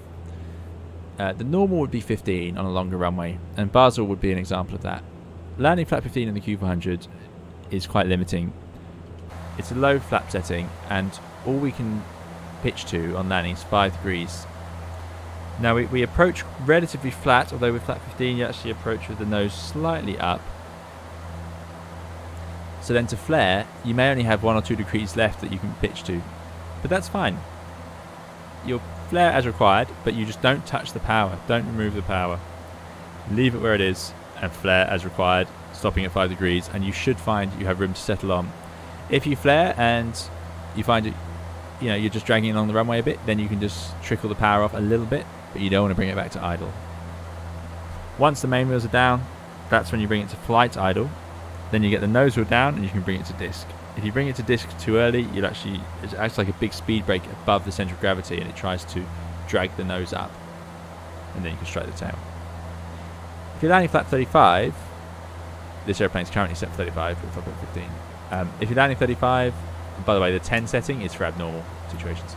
Uh, the 35 setting, then you're going to come in nose down. So tail strikes aren't an issue, but wheelbarrowing is, which is when you land just on the nose gear. So what you need to do in this case is, uh, as you start the flare, you do need to trickle the power off, and you're sort of flaring whilst trickling the power off to make sure you can get the nose up enough to then land.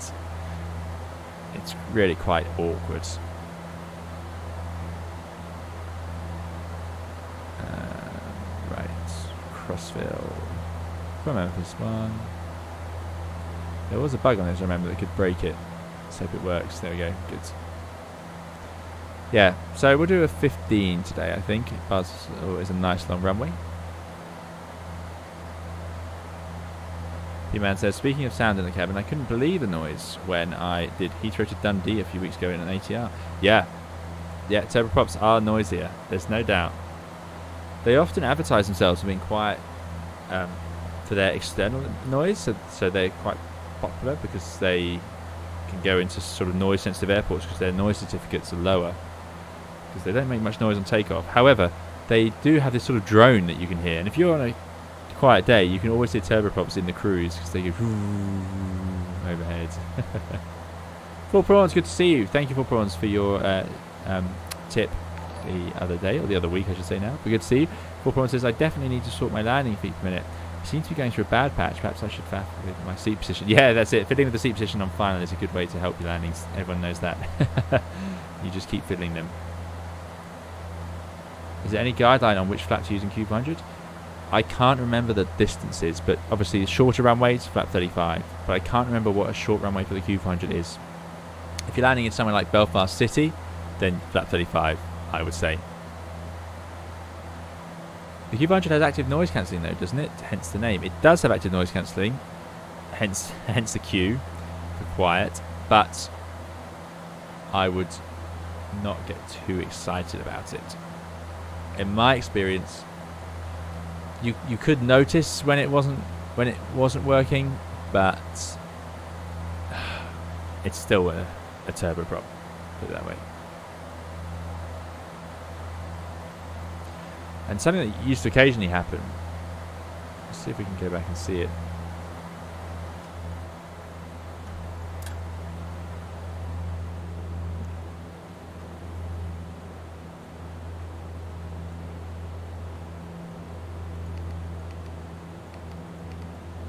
There we go. Then it seems to be working.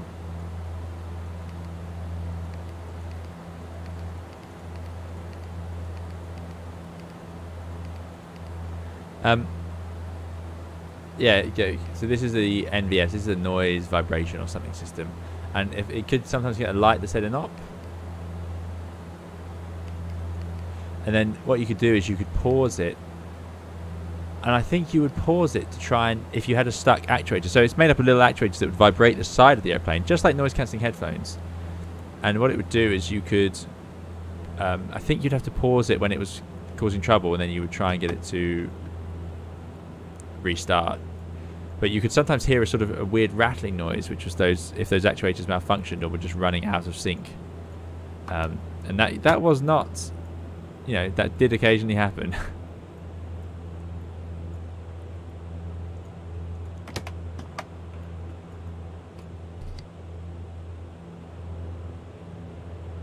There it is. I just plush toy. Oh.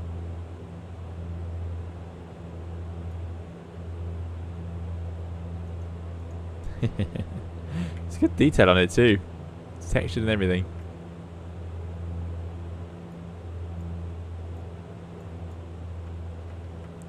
FlyJSim aircraft are just there's something special about them.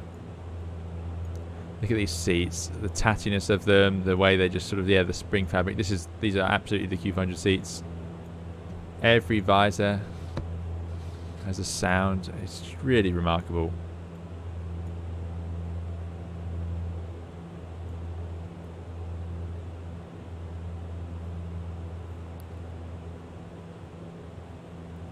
Does it, does it go up to the flight deck? Oh, I don't know.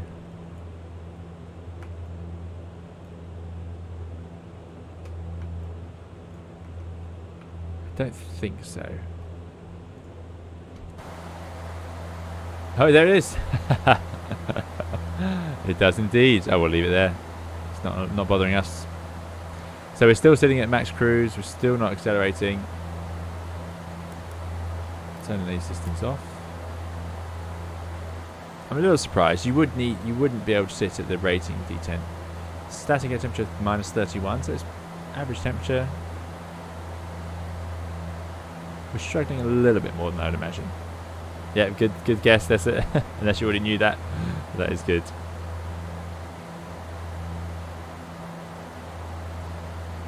Right. Just check the range. There we go. There's our arrival coming up already. 80 miles. That's down to Connell. And then we'll go up via our points. Then back round. Then vector. So that's the sort of DME arc. So we're going to find out from air traffic soon what's going on. We have an ATIS. A massive ATIS. Euro, Basel, Mulhouse, Freiburg Airport. Information Charlie. Uh, Hawkfish, thanks for the follow. Um, so, they're using runway 15. There we go. Of course. Of course. RS Zulu expected. So there you go. Someone was asking earlier about Zulu whiskey. Zulu is the most common, but they will also tell you in the ATIS eventually. It's variable 3. 24 degrees. Lovely evening. Considering it's almost dark there. QNH 1015. Good, that's information Charlie. So let's set up for that.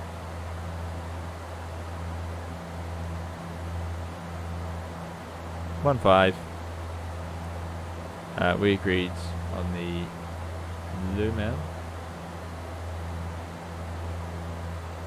The uh, sorry, RS 015, number five, via Altic. Good.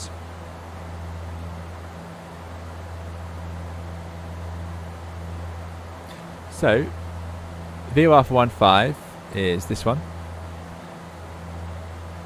So we need the transition, which is just this vector. Doesn't make a difference. Uh, which is here. No, it's here. uh, yeah, vector off like that. And then we're going to fly the ILS onto 1.5. Let's get rid of the 3.3 for now. So from Altic, we'll probably be heading off, and then our vector us downwind. And then we go. Freezing in Lincolnshire, says Nick. Oh dear. yeah, it's pretty warm up here. Or out here. Alice Dimmy, 111.55, so let's tune that in.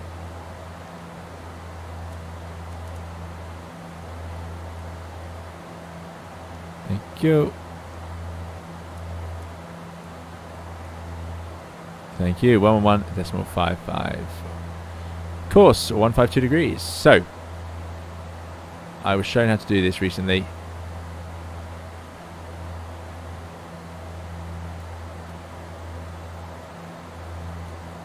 That puts it into wings level. Oh no, out. Oh, what was it? To do with setting the page 2 to the RS.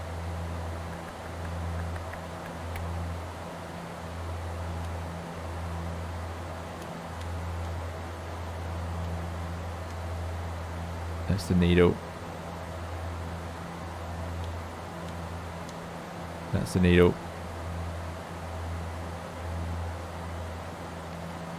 That's formats. There we go. You hold formats. Brings up RS1. Finally. Evening, Mariner. Howdy. Good to see you. I hope you're doing well. I'm doing well. Thanks for coming along. Sorry it's been so long. Mariner Halley says, I'm normally in Lincolnshire, but holidaying in the Norfolk Broads this week, and it's pretty cold here too. Oh dear. Yeah. The east of the UK has been a bit colder. There's been a continuous easterly breeze over the UK, which is a bit unusual. Very unusual, really. And it's been going continuously. So some parts of the country are getting colder weather than they should be at this time of year because it's just been bringing cold air down from the north. Uh, that is my my non-expert meteorological opinion of it all. But yeah, it's quite rare. So in the UK, we've just been using easterly runways for weeks now, which is not happened very often. We're, we're generally a westerly runway place. 152. There we go. ILS 1, 152, 1155. Simples. Uh, let's do it on. Yes, I should do it on the other side. Ah, ILS 2. I can already see it because we're not using that side, so we can set.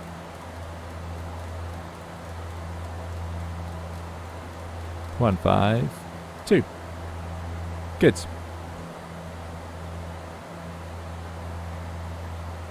It's like ground speed. 353. Yeah, not that much. Mariner says, yeah, I like meteorology and easterlies are rare. There you go. Yeah, I thought so.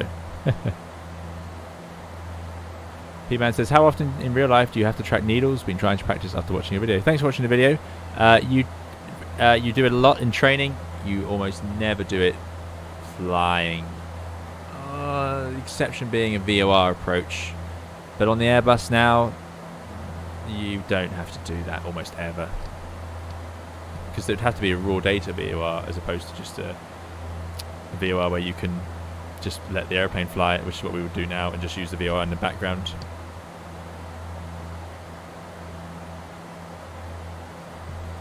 Sadly, I never flew the shorter Dash 8s. I heard very nice things about the Q300s and 200s, but I've never flown one. But people who had flown them tended to like them and they tended to like them more than the 400. I suspect due to the fact that they weren't limited in the same way. Um, they're a little simpler. They weren't quite as fancy, but they also didn't have like the five degree pitch limit. I'm I'm guessing there though. Yeah, Airbus is great indeed, Pian, and it does. It's you'd have to be a severely downgraded Airbus to need to track needles, and then you would have to do it. So we, we all pilots are able to do it. it. It's sort of like riding a bike. It, it does stick with you for a long time. The needles, doesn't it's yeah it's something that we do because we're constantly watching needles I suppose but yeah not something we do very often um, good. So yeah that's our arrival so we've got high terrain all around us. We need to be careful. Terrain up in the region of 6,400 feet and in area number three it's 4,100 feet. Um, and then within 15 miles it's 4-1 so yeah it's high. So we'll just watch out for that as we head round. We'll make sure that we're not going below it unless we're happy with where we are. And then we expect vectors over here. Join the ILS once we get on the ILS it is a normal 3 degree localizer only is 3.12 but the normal ILS is 3 degrees and we are going to be descending down course of 152 starting at 9.5 miles airfield is at an elevation of 900 feet so we're actually only about uh, 3,000 feet from the ground, so hence we descend about 9 miles, which makes sense. And down we go.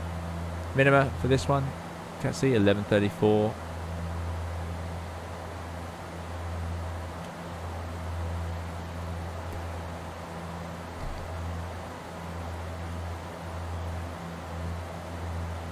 So I'll round it up, 1140.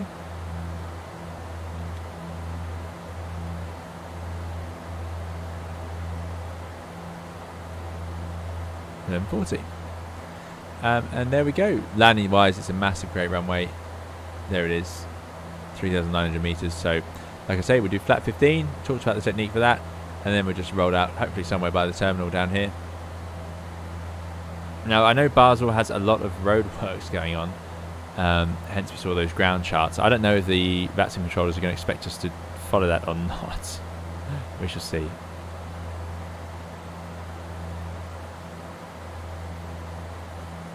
Right, what's going on here with the arrival? We're going to come in. Lemel.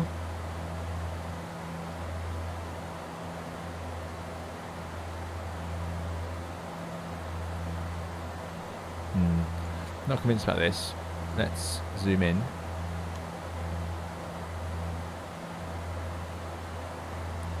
Is there a way to scroll through it? Like a plan mode? There it is.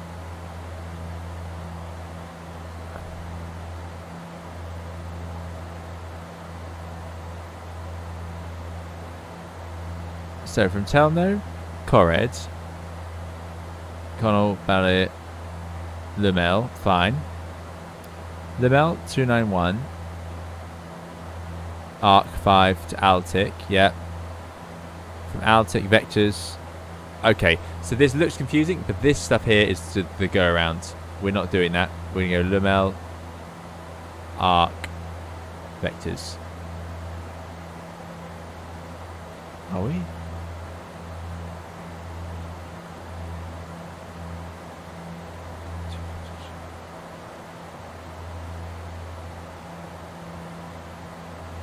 There's the 246 Yankee. There's the arc.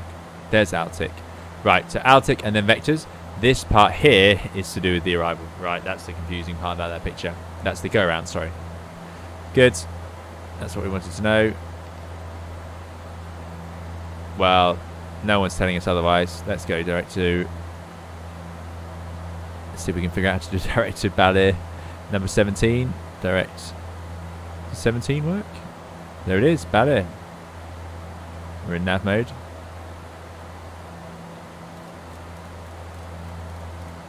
No traffic to tell us not to. Altitude wise.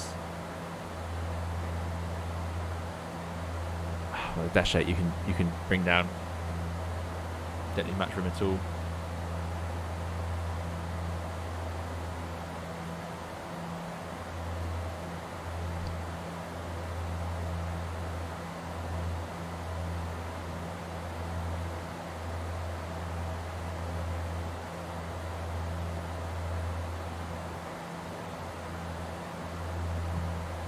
So,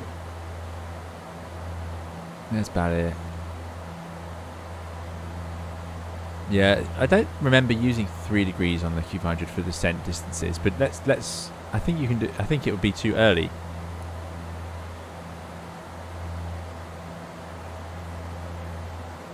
Even so, if we got straight to the centre fix, we would need to start down. I think soon.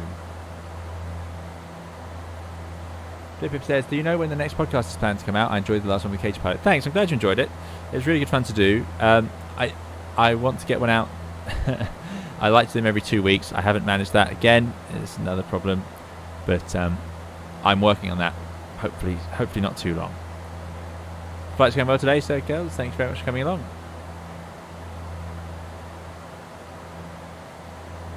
Liana says, so how long ago did you actually have to fly needles years? Well, I'll give you an idea. Um, flying the Q400 is a relatively basic aircraft. When I started on the Q400, to fly an NDB approach, it wasn't certified in my airline to use the nav mode. So you had to fly it in heading select mode and then track the needles, just like I showed you in that video. And that was something we would do. That was a genuine way we flew NDB approaches, and that's fine. It's you know it's totally allowed. You could do it today if you wanted, but that was rare. That was when I started flying. Um, so that's now over 10 years ago. That disappeared soon after I started flying, and the aircraft became approved to just use nav mode. And now on the Airbus and 737, I don't know about the 73 as much, but on the Airbus, certainly most non precision approaches, you can actually arm a, a, version of approach mode where it flies the whole vertical profile as well for you. But we were sat there flying it, heading, tracking the needle, vertical speed, trying to, trying to follow the vertical profile. Very basic. So Kel says, Your podcasts are so good, I really look forward to them. Any insights on guests? That's very kind, Sir Kels. Thanks so much. Really appreciate it. No insights at the moment. Work to be done. Work to be done. I'm really glad you enjoyed it. Thank you. The workload of doing that, all that must be immense as P-Man. Yeah, it is. Doing the approaches like that was incredibly high workload. Um, should we have heard from air traffic control yet?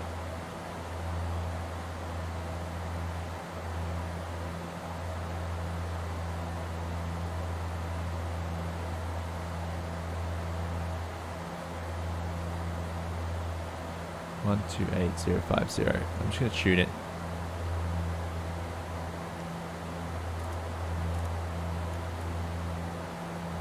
In the backgrounds.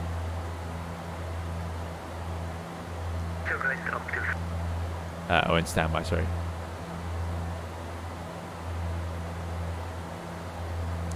Nick says, be interested to hear you talking to cabin crew in a podcast. Must be an interesting job and difficult.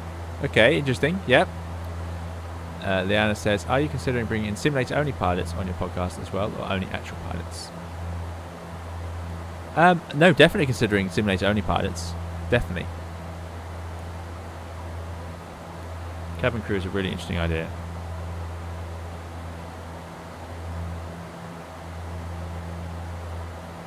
Um, but yeah, definitely um, considered simulator pilots. But I need to make some more progress in terms of uh, yeah getting some contacts.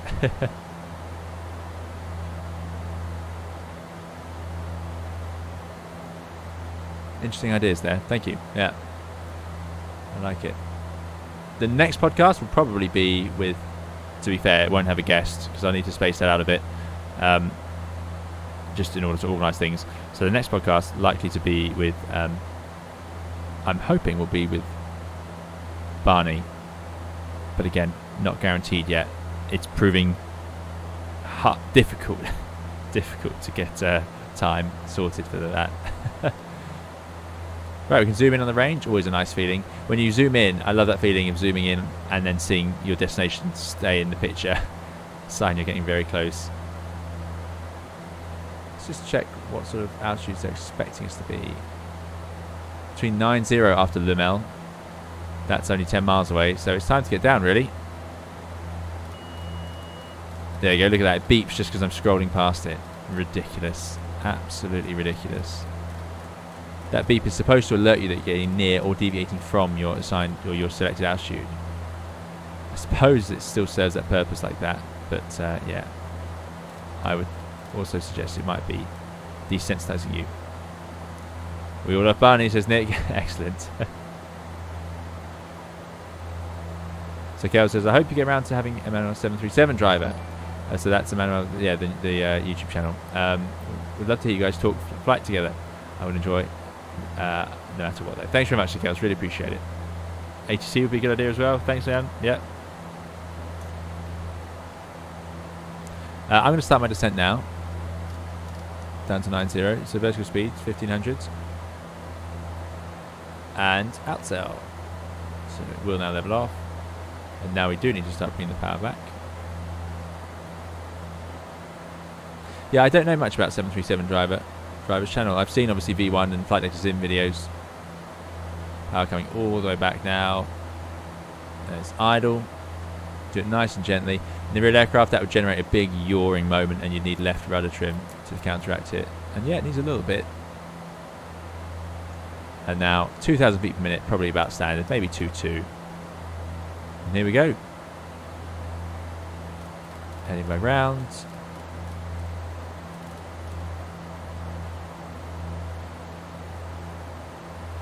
So maximum flight. Oh no, that that 90 is the limit. Um, so yeah, so actually we can go. Uh, maximum flight level is 110 at altitude. So 110 would be perfectly fine.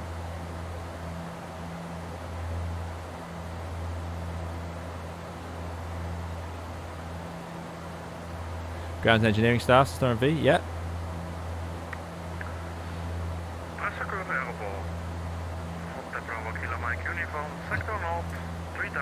It's going to be tricky for some of those, especially given how few I know. But yeah, interesting.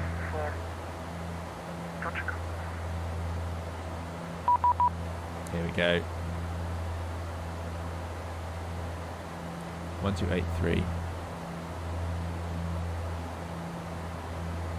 So my frequency was completely wrong. No surprise there.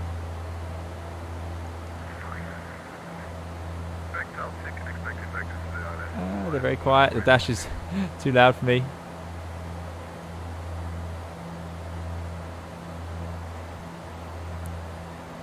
Um, okay, let's see if this volume works.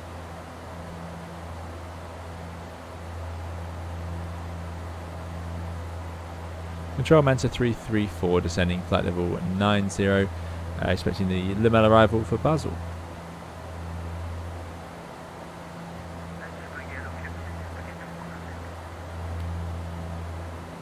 Oh no, what's going on? I'm listening. Volume's up.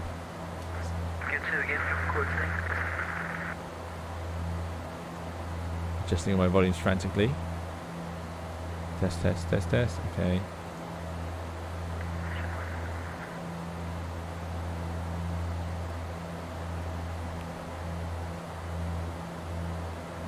Still safe on speed now, shoot. What's going on here then? What frequency have I tuned? 23. I was told to contact 1283 LFEE Centre.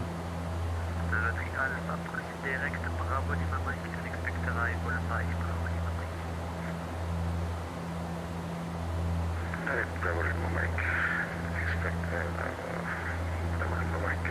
KLM 9 at Alpha. Control Manta 334.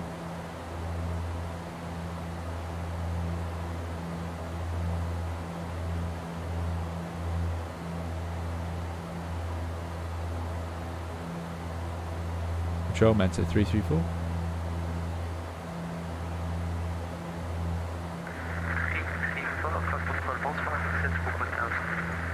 Talk 1000 Manta 334. Mm, okay, we're sort of working.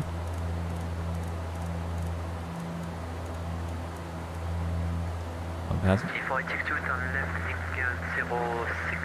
Um, yeah. Left 060, quality Yes, we do. I think we have some ground stuff in our group actually, so that's that could be a good way to do it.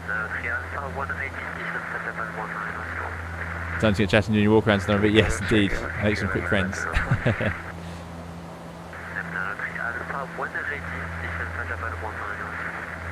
so, seven three drivers now doing Airbus rating. Yes, I think I had heard that. Next is basically talk to anyone involved in aviation. Exactly. it would be good to hear different, different, completely different things. It would slightly deviate from the flight sim focus of this podcast. That's all. But if you guys are happy with that, then that's definitely something we could consider. I'll have to think up of some new introductory questions.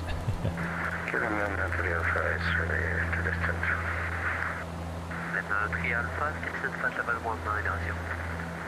It's Alpha Lima 1 at KLM 9 at Alpha. Très très uh, Radar Victory Gales, Zulu, runway 15, descent flight level 8. 75480 radar vectors Zala Zulu 15 Manta 334. 80, still on standard, that's fine. Descent checklist altimeter staying on standard. Approach landing briefing reviewed. Cabin altitude control set. Eye protection is required. Oh yeah, actually, that's a good point. Those clouds looking good. They are looking good out there. Um, we should have set this to almost 1,000 feet. There it is. Cabin altitude still at 8,000 feet. Not really descending, so hopefully it does start soon.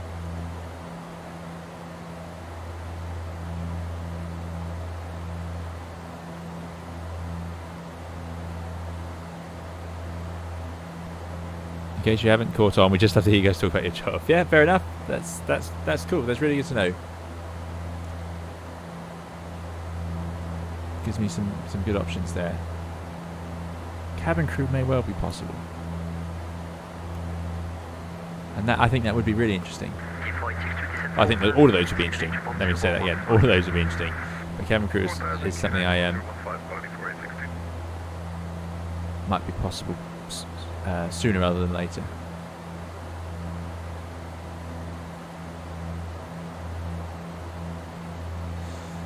By the way, this systems page doesn't need to stay here. You, you should have really moved it over to nav like that. That's how you, expect to see it. So better late than never. Now, controller did say radar vectors. I am currently. I'll put QNH115 on there, by the way. That's just so we know for later. Uh, yeah, I'm just going to keep following the flight plan arrival for now. 334 from left heading 050. There it is. Left landing 050, Manta 334.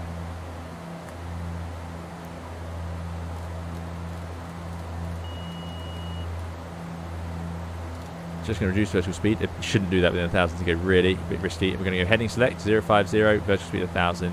And now remember, bit of power on. Now, when you fly this aircraft enough, you get used to exactly what power setting you need to do a thousand feet minute and to level off and so on. okay, let's change the course selector, not the course, the nav source to ILS1. Holding 230 knots. See how that limiter is now chopping down around 80 and outstar, which is something it does, which catches you out.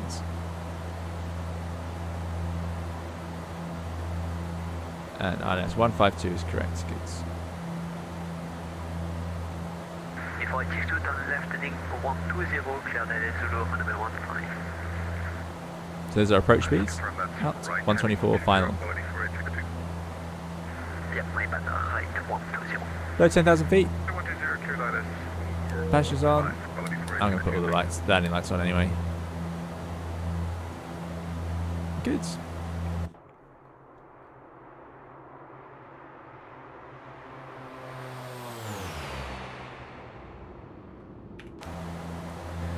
Um, so yeah, there you go. That's not quite enough power. Let's trickle that power on.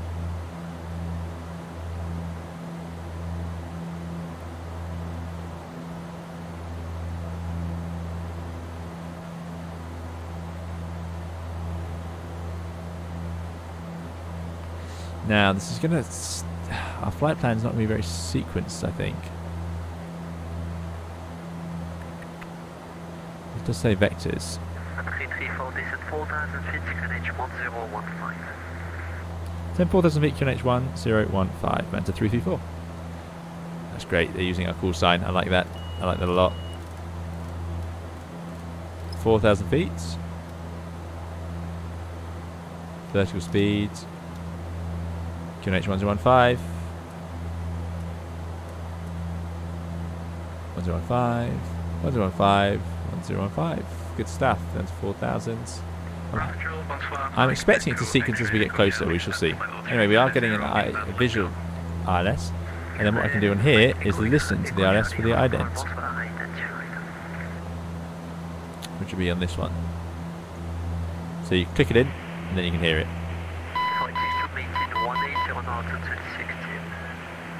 Dun, dun, dun. So we go. That's it. Done. Left wing 020, Manta 334. Oh, no, not out. Goodness me. Left. There we go. 020. So looking good. We've got an ILS, we've got ident, we've got a visual clue on it. Um, I'm not sure the track miles to go, but I think we need to be lower to be ready for it. And then we must remember ALT SEL. Thanks, Pip Pip. Caught me just in time. I think the Morse code works in Microsoft, but I don't know. I don't do it very much because the Airbus, obviously, and a lot of aircraft nowadays, visually ident for you, even the CRJ and so on.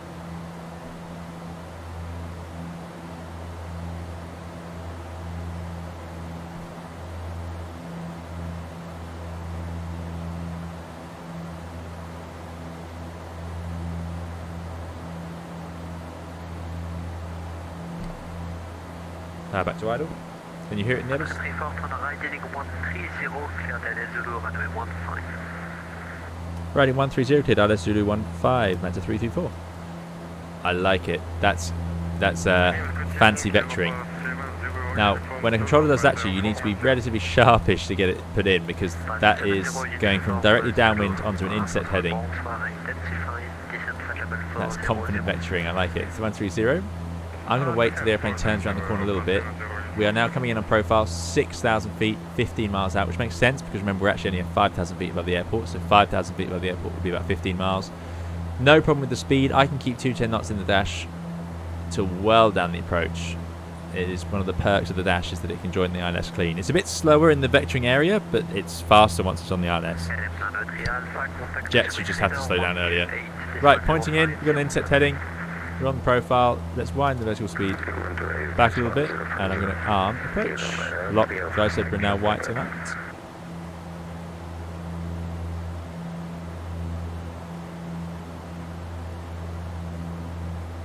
Yeah, uh, James asks, have you ever uh, delayed a departure or approach due to air ambulance alpha designation? I'm told when tasked they get alpha status and take priority. Yes, you, you, it's it's not like they would, you know, let's say there's an air ambulance on the way in, and you're making your approach. They're not going to break you off to stay out of the way. There's Lockstar and Glide Slope we're on now. They're not going to do that to keep you out of the way, as it were, but they will fit them in without any holding or any delay. So it could be that you then do a little bit of extra holding, um, or maybe you'll be sat on the runway a bit longer, but then, as in, uh, sorry, sat waiting to depart. What can happen though, you are right, is that you might be sat on stand and they'll say, sorry, we can't let you go because we have hospital traffic or ambulance traffic or a medical emergency. Any of those things. So that does happen, yeah. 180 to 6. 180 to 6 meant uh, 334. That's fine, 180, we can do that. What are the flat limit speeds? That's my next question. They're written somewhere. Over there. Flap 5 is 200. Flap 10, 181, 172. Okay. So let's bring it back to 180. I'm going to stay at 850 for this landing. Done the descent.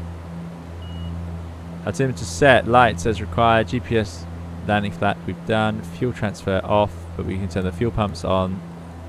Standby hide on. 334, contact the well, 118, it's 135. 1183, Manta 334, thanks for your help, goodbye. We're doing 180 to 6, so let's keep the speed up. And 118, 5, 25. 4. Red out, should be about right. True 5, about 3 1, yeah. Airfield's on a bit of a hill, we are now visual. Tower, bonjour, Manta 334, ILS, runway 15. We are 7 miles. Bonjour may have been the wrong way to do it. Anyway.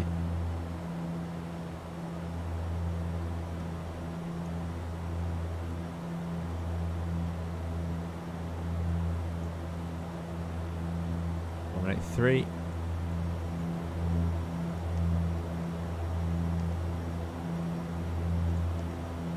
That's where you need another pilot. There's 183. Right, 170. We're now at 5 miles. We go flap 5. Quality 4862, ground 121.6. Bye bye. Uh, heights, standby, passenger signs are done, caution one lights check. cabin is secure, that's the approach checks complete. Next is the landing checks. Let's go flap 10. Get the gear horn, ridiculous, but there it is. Four miles, we'll go gear down. You see how easy it is to slow down a dash, and if we needed to bring the props forward, we would have slowed down like we're putting on the brakes. It's amazing. Power up now. That's the thing with the dash, don't get caught out slow, and we'll go flap 15. Hotel Zulu Bravo fly extended downwind, call you back for uh, back to base. We have traffic IFR on ILS. Extended downwind, uh, next report base. Right, landing checklist, landing gear down, landing three greens. Uh, Whiskey Zulu Flaps 15, set, indicating. Condition levers, we go reduced MP, correct. condition levers to max, but they'll stay at 850. Traffic now on ILS, Leads go on and min, and that put it into white. And FA is notified. Next is the land. Extended to traffic on island of Charlie Bravo. Hmm, that, that is a bit of a slow approach speed. Tower, good day, Manta 334, ILS, runway 15. Mike XH Zulu 334, Bravo Tower, good evening. Wind 340 degrees 5 knots, runway 15, clear to land. To land, runway 15, Manta 334. There we go. So we're already manual thrust, no worries there. I'm reckon somewhere in the sort of about 20% on the torque. Autopilot off.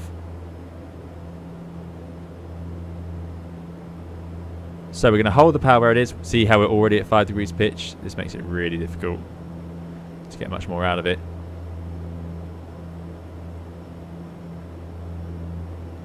Bit of power on. 100, I don't think we're actually four reds there.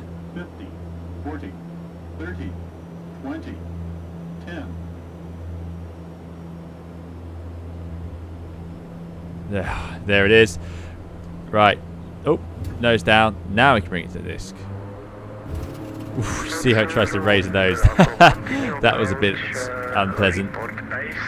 They shouldn't overspeed like that. That isn't realistic. They would disc quite happily. But there we go. That was a lot of sync at the end there. And this is the problem. You run out of pitch. You have to just add power. It's really quite remarkable.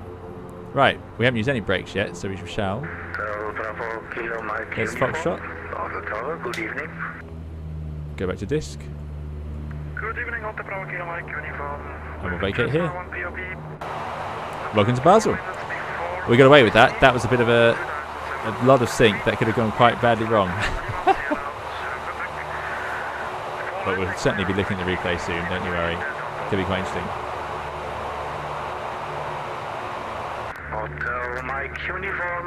Hotel Mike Uniform, Delta is So Kel says, how many times when you were a kid did you wish you could go talk to pilots. Your podcast was like getting to go sit in the cockpit with the cool kids. I'm glad you enjoy it, Sikels. Um, when I was growing up, you could go to the flight deck, so I did. So I, I'm lucky. I, I got to do that, and that's, I have no doubt, a heavy part of why I now do this job. Flight taxi, landing lights off, taxi light can go on, 34 degrees 5 knots. Heater static off. 5 clear to land. windshield heat off. Okay, Wolf 1-5 clear to land, Hotel Zulu Bravo. And uh, confirm two-ship landing is approved. Hotel Zulu Ship landing is approved. Issue control. Hotel Zulu Bravo. So we're now clear. Two ship landing. Contact ground 1 to 1 decimal 6. Bye bye.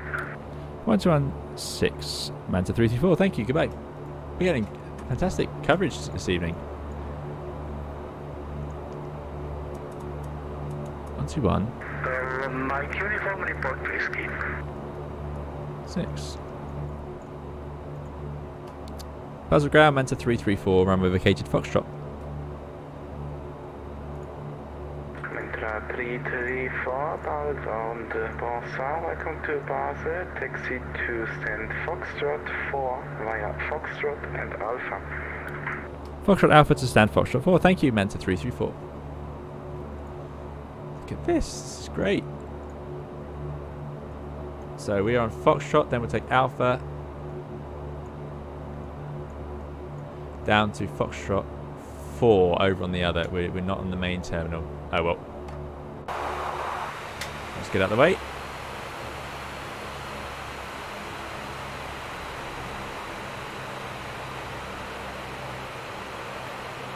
Uh, hold on. So Alpha is the second. It's the inners, as it were. Almost fell for it. There we go.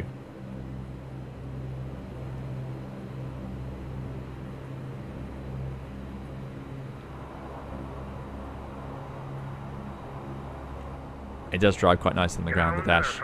It's relatively planted and has good grip on the nose gear and it's not too heavy. Right, flaps up. Control lock on. APU is on. I guess I can put the generator now. I don't remember where that would happen. We've sorted out the lights and the bleeds. Um, and I'm going to put the bus tie back on. After landing. Right, control lock is on. Transponder. Oh, yeah. Standby. Radar standby. I'll do that as we get to stand, actually. The transponder. And we can turn off the tank aux pumps and the standby hydraulics.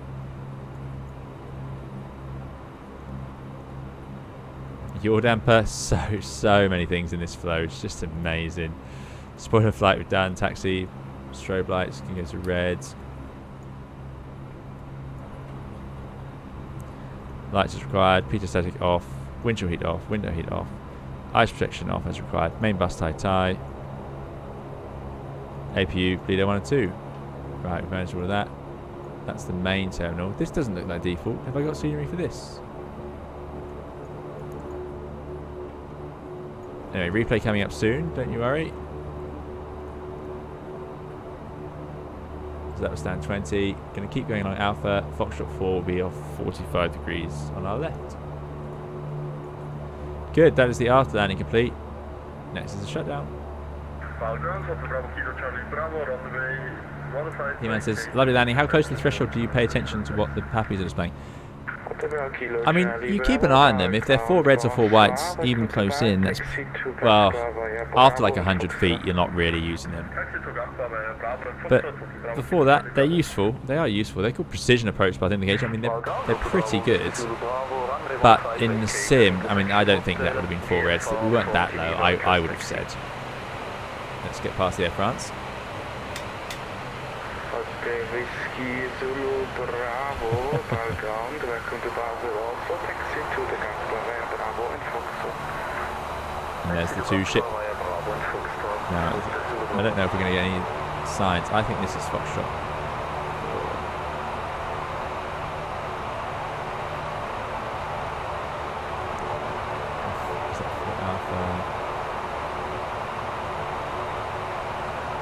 I think we'll take this one here. Sadly not written anywhere. Right, so text light off. France, uh, 492 taxi now right on Alpha, hold short Foxtrot. Right on Alpha, all shot Foxtrot, 498. Here we go.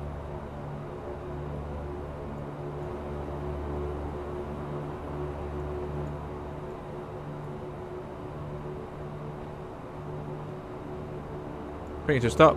Parking brake set. Condition levers. Start feather.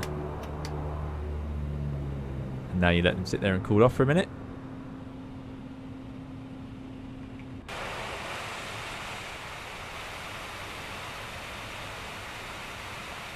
What a lovely evening flight. Really enjoyed that.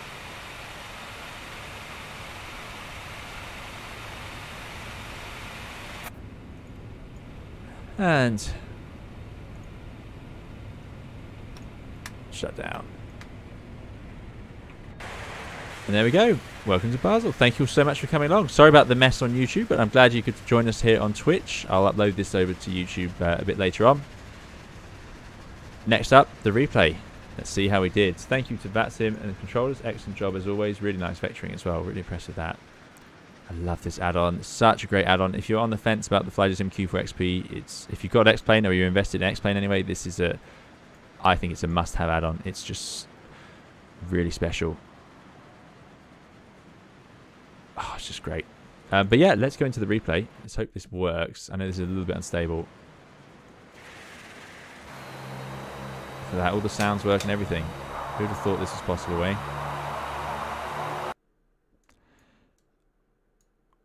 Although I am pushing its limits. Here we go then.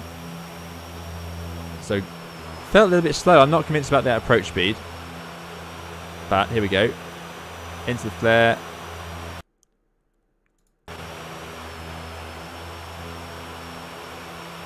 Now, to me, I felt like we were sinking really fast here. But actually, we had a little more room than I thought. Yeah. You know, it's funny. The Dash is one of the hardest planes to land smoothly. Landing it safely is fine. It's, it's totally normal to land it safely. But if you're trying to get smooth landings, it's it's a little difficult. But ironically, it is also the airplane I've had my smoothest ever landing in. James, thank you so much for $10 tip. Really appreciate it. James, you're so kind. Thank you so much for supporting the channel. Uh, James says, great stream as always. Enjoy your evening. James, thank you so much. Thank you for coming along and chatting along with us. Really, really appreciate it. And uh, yeah, thanks so much for your tips. Really, very kind. Um, here we go. Yeah, so that's look at this add-on. Look at the textures. Anyway, um, yeah, into the flare, and there's touchdown. So what was our pitch at touchdown? Five. Yeah, that's it. We were totally out of pitch. So what did I do with the power? I think I had to increase it a bit. 20, 40. So 27 odd percent. Then I wasn't happy. 30, Look at that. Squeezed it all the way up to 40 and held it there and then chopped it back a bit. There was touchdown. Not uncommon in the dash. This bit's a little bit clunky afterwards. I wasn't, wasn't, quite smooth getting the nose down. But yeah, there you go. That's it. Let's do the good old fly by one. And thank you again, James. That very, very generous uh, tip. Really, really appreciate it.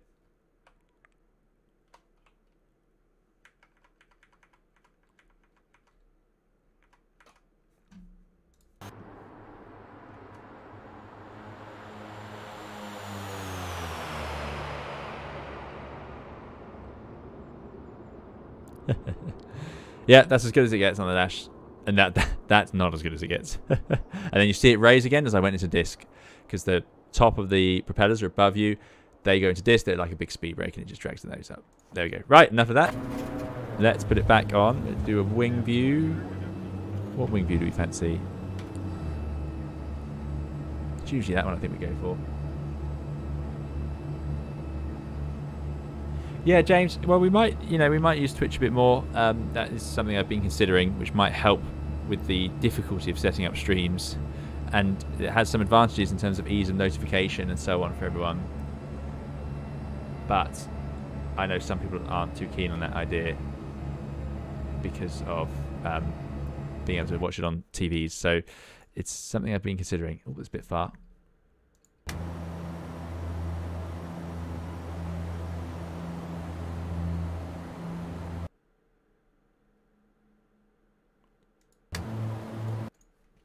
Cool. Right. What I'm going to say then is thank you all so much for coming along today. Really, really, really appreciate it. Yeah, go. Speedways is not keen on that idea. um, yeah, so uh, thank you all so much. So sorry for the gap in stream. So sorry for the mess on YouTube. Sorry for the lack of podcasts. All things I need to work on and resolve. Summer is busy. It's proving to be very busy. I am going to have a really busy summer for several reasons, and um, that is going to be a theme of the next couple of months. Hopefully, after that, I'm anticipating a much touch wood if things work out as I'm hoping they will, a more relaxed winter than than normal, which would be good, um, and would have time to do a bit more of this, which would be great. So fingers crossed. Thank you so much for your patience with it, thank you for coming along and supporting the channel today. It really, really does mean the world to me. It's so great to have people to sit here and chat with and fly along with, uh, and talk to about aviation. So um, really, really appreciate it. Thank you all so much. We'll see you again in another live stream. Thanks to the moderators. Thanks for watching. Thanks for chatting. Thanks for those very kind tips. And we'll see you uh, again soon. Next time, I will plan to be on YouTube and Twitch at, at the same time next time. If this becomes a theme, you know, we'll see what happens later on. But for now, we'll be on both. So yeah, thank you all so much. We'll see you next time. And uh, yeah, have a safe evening. Bye bye.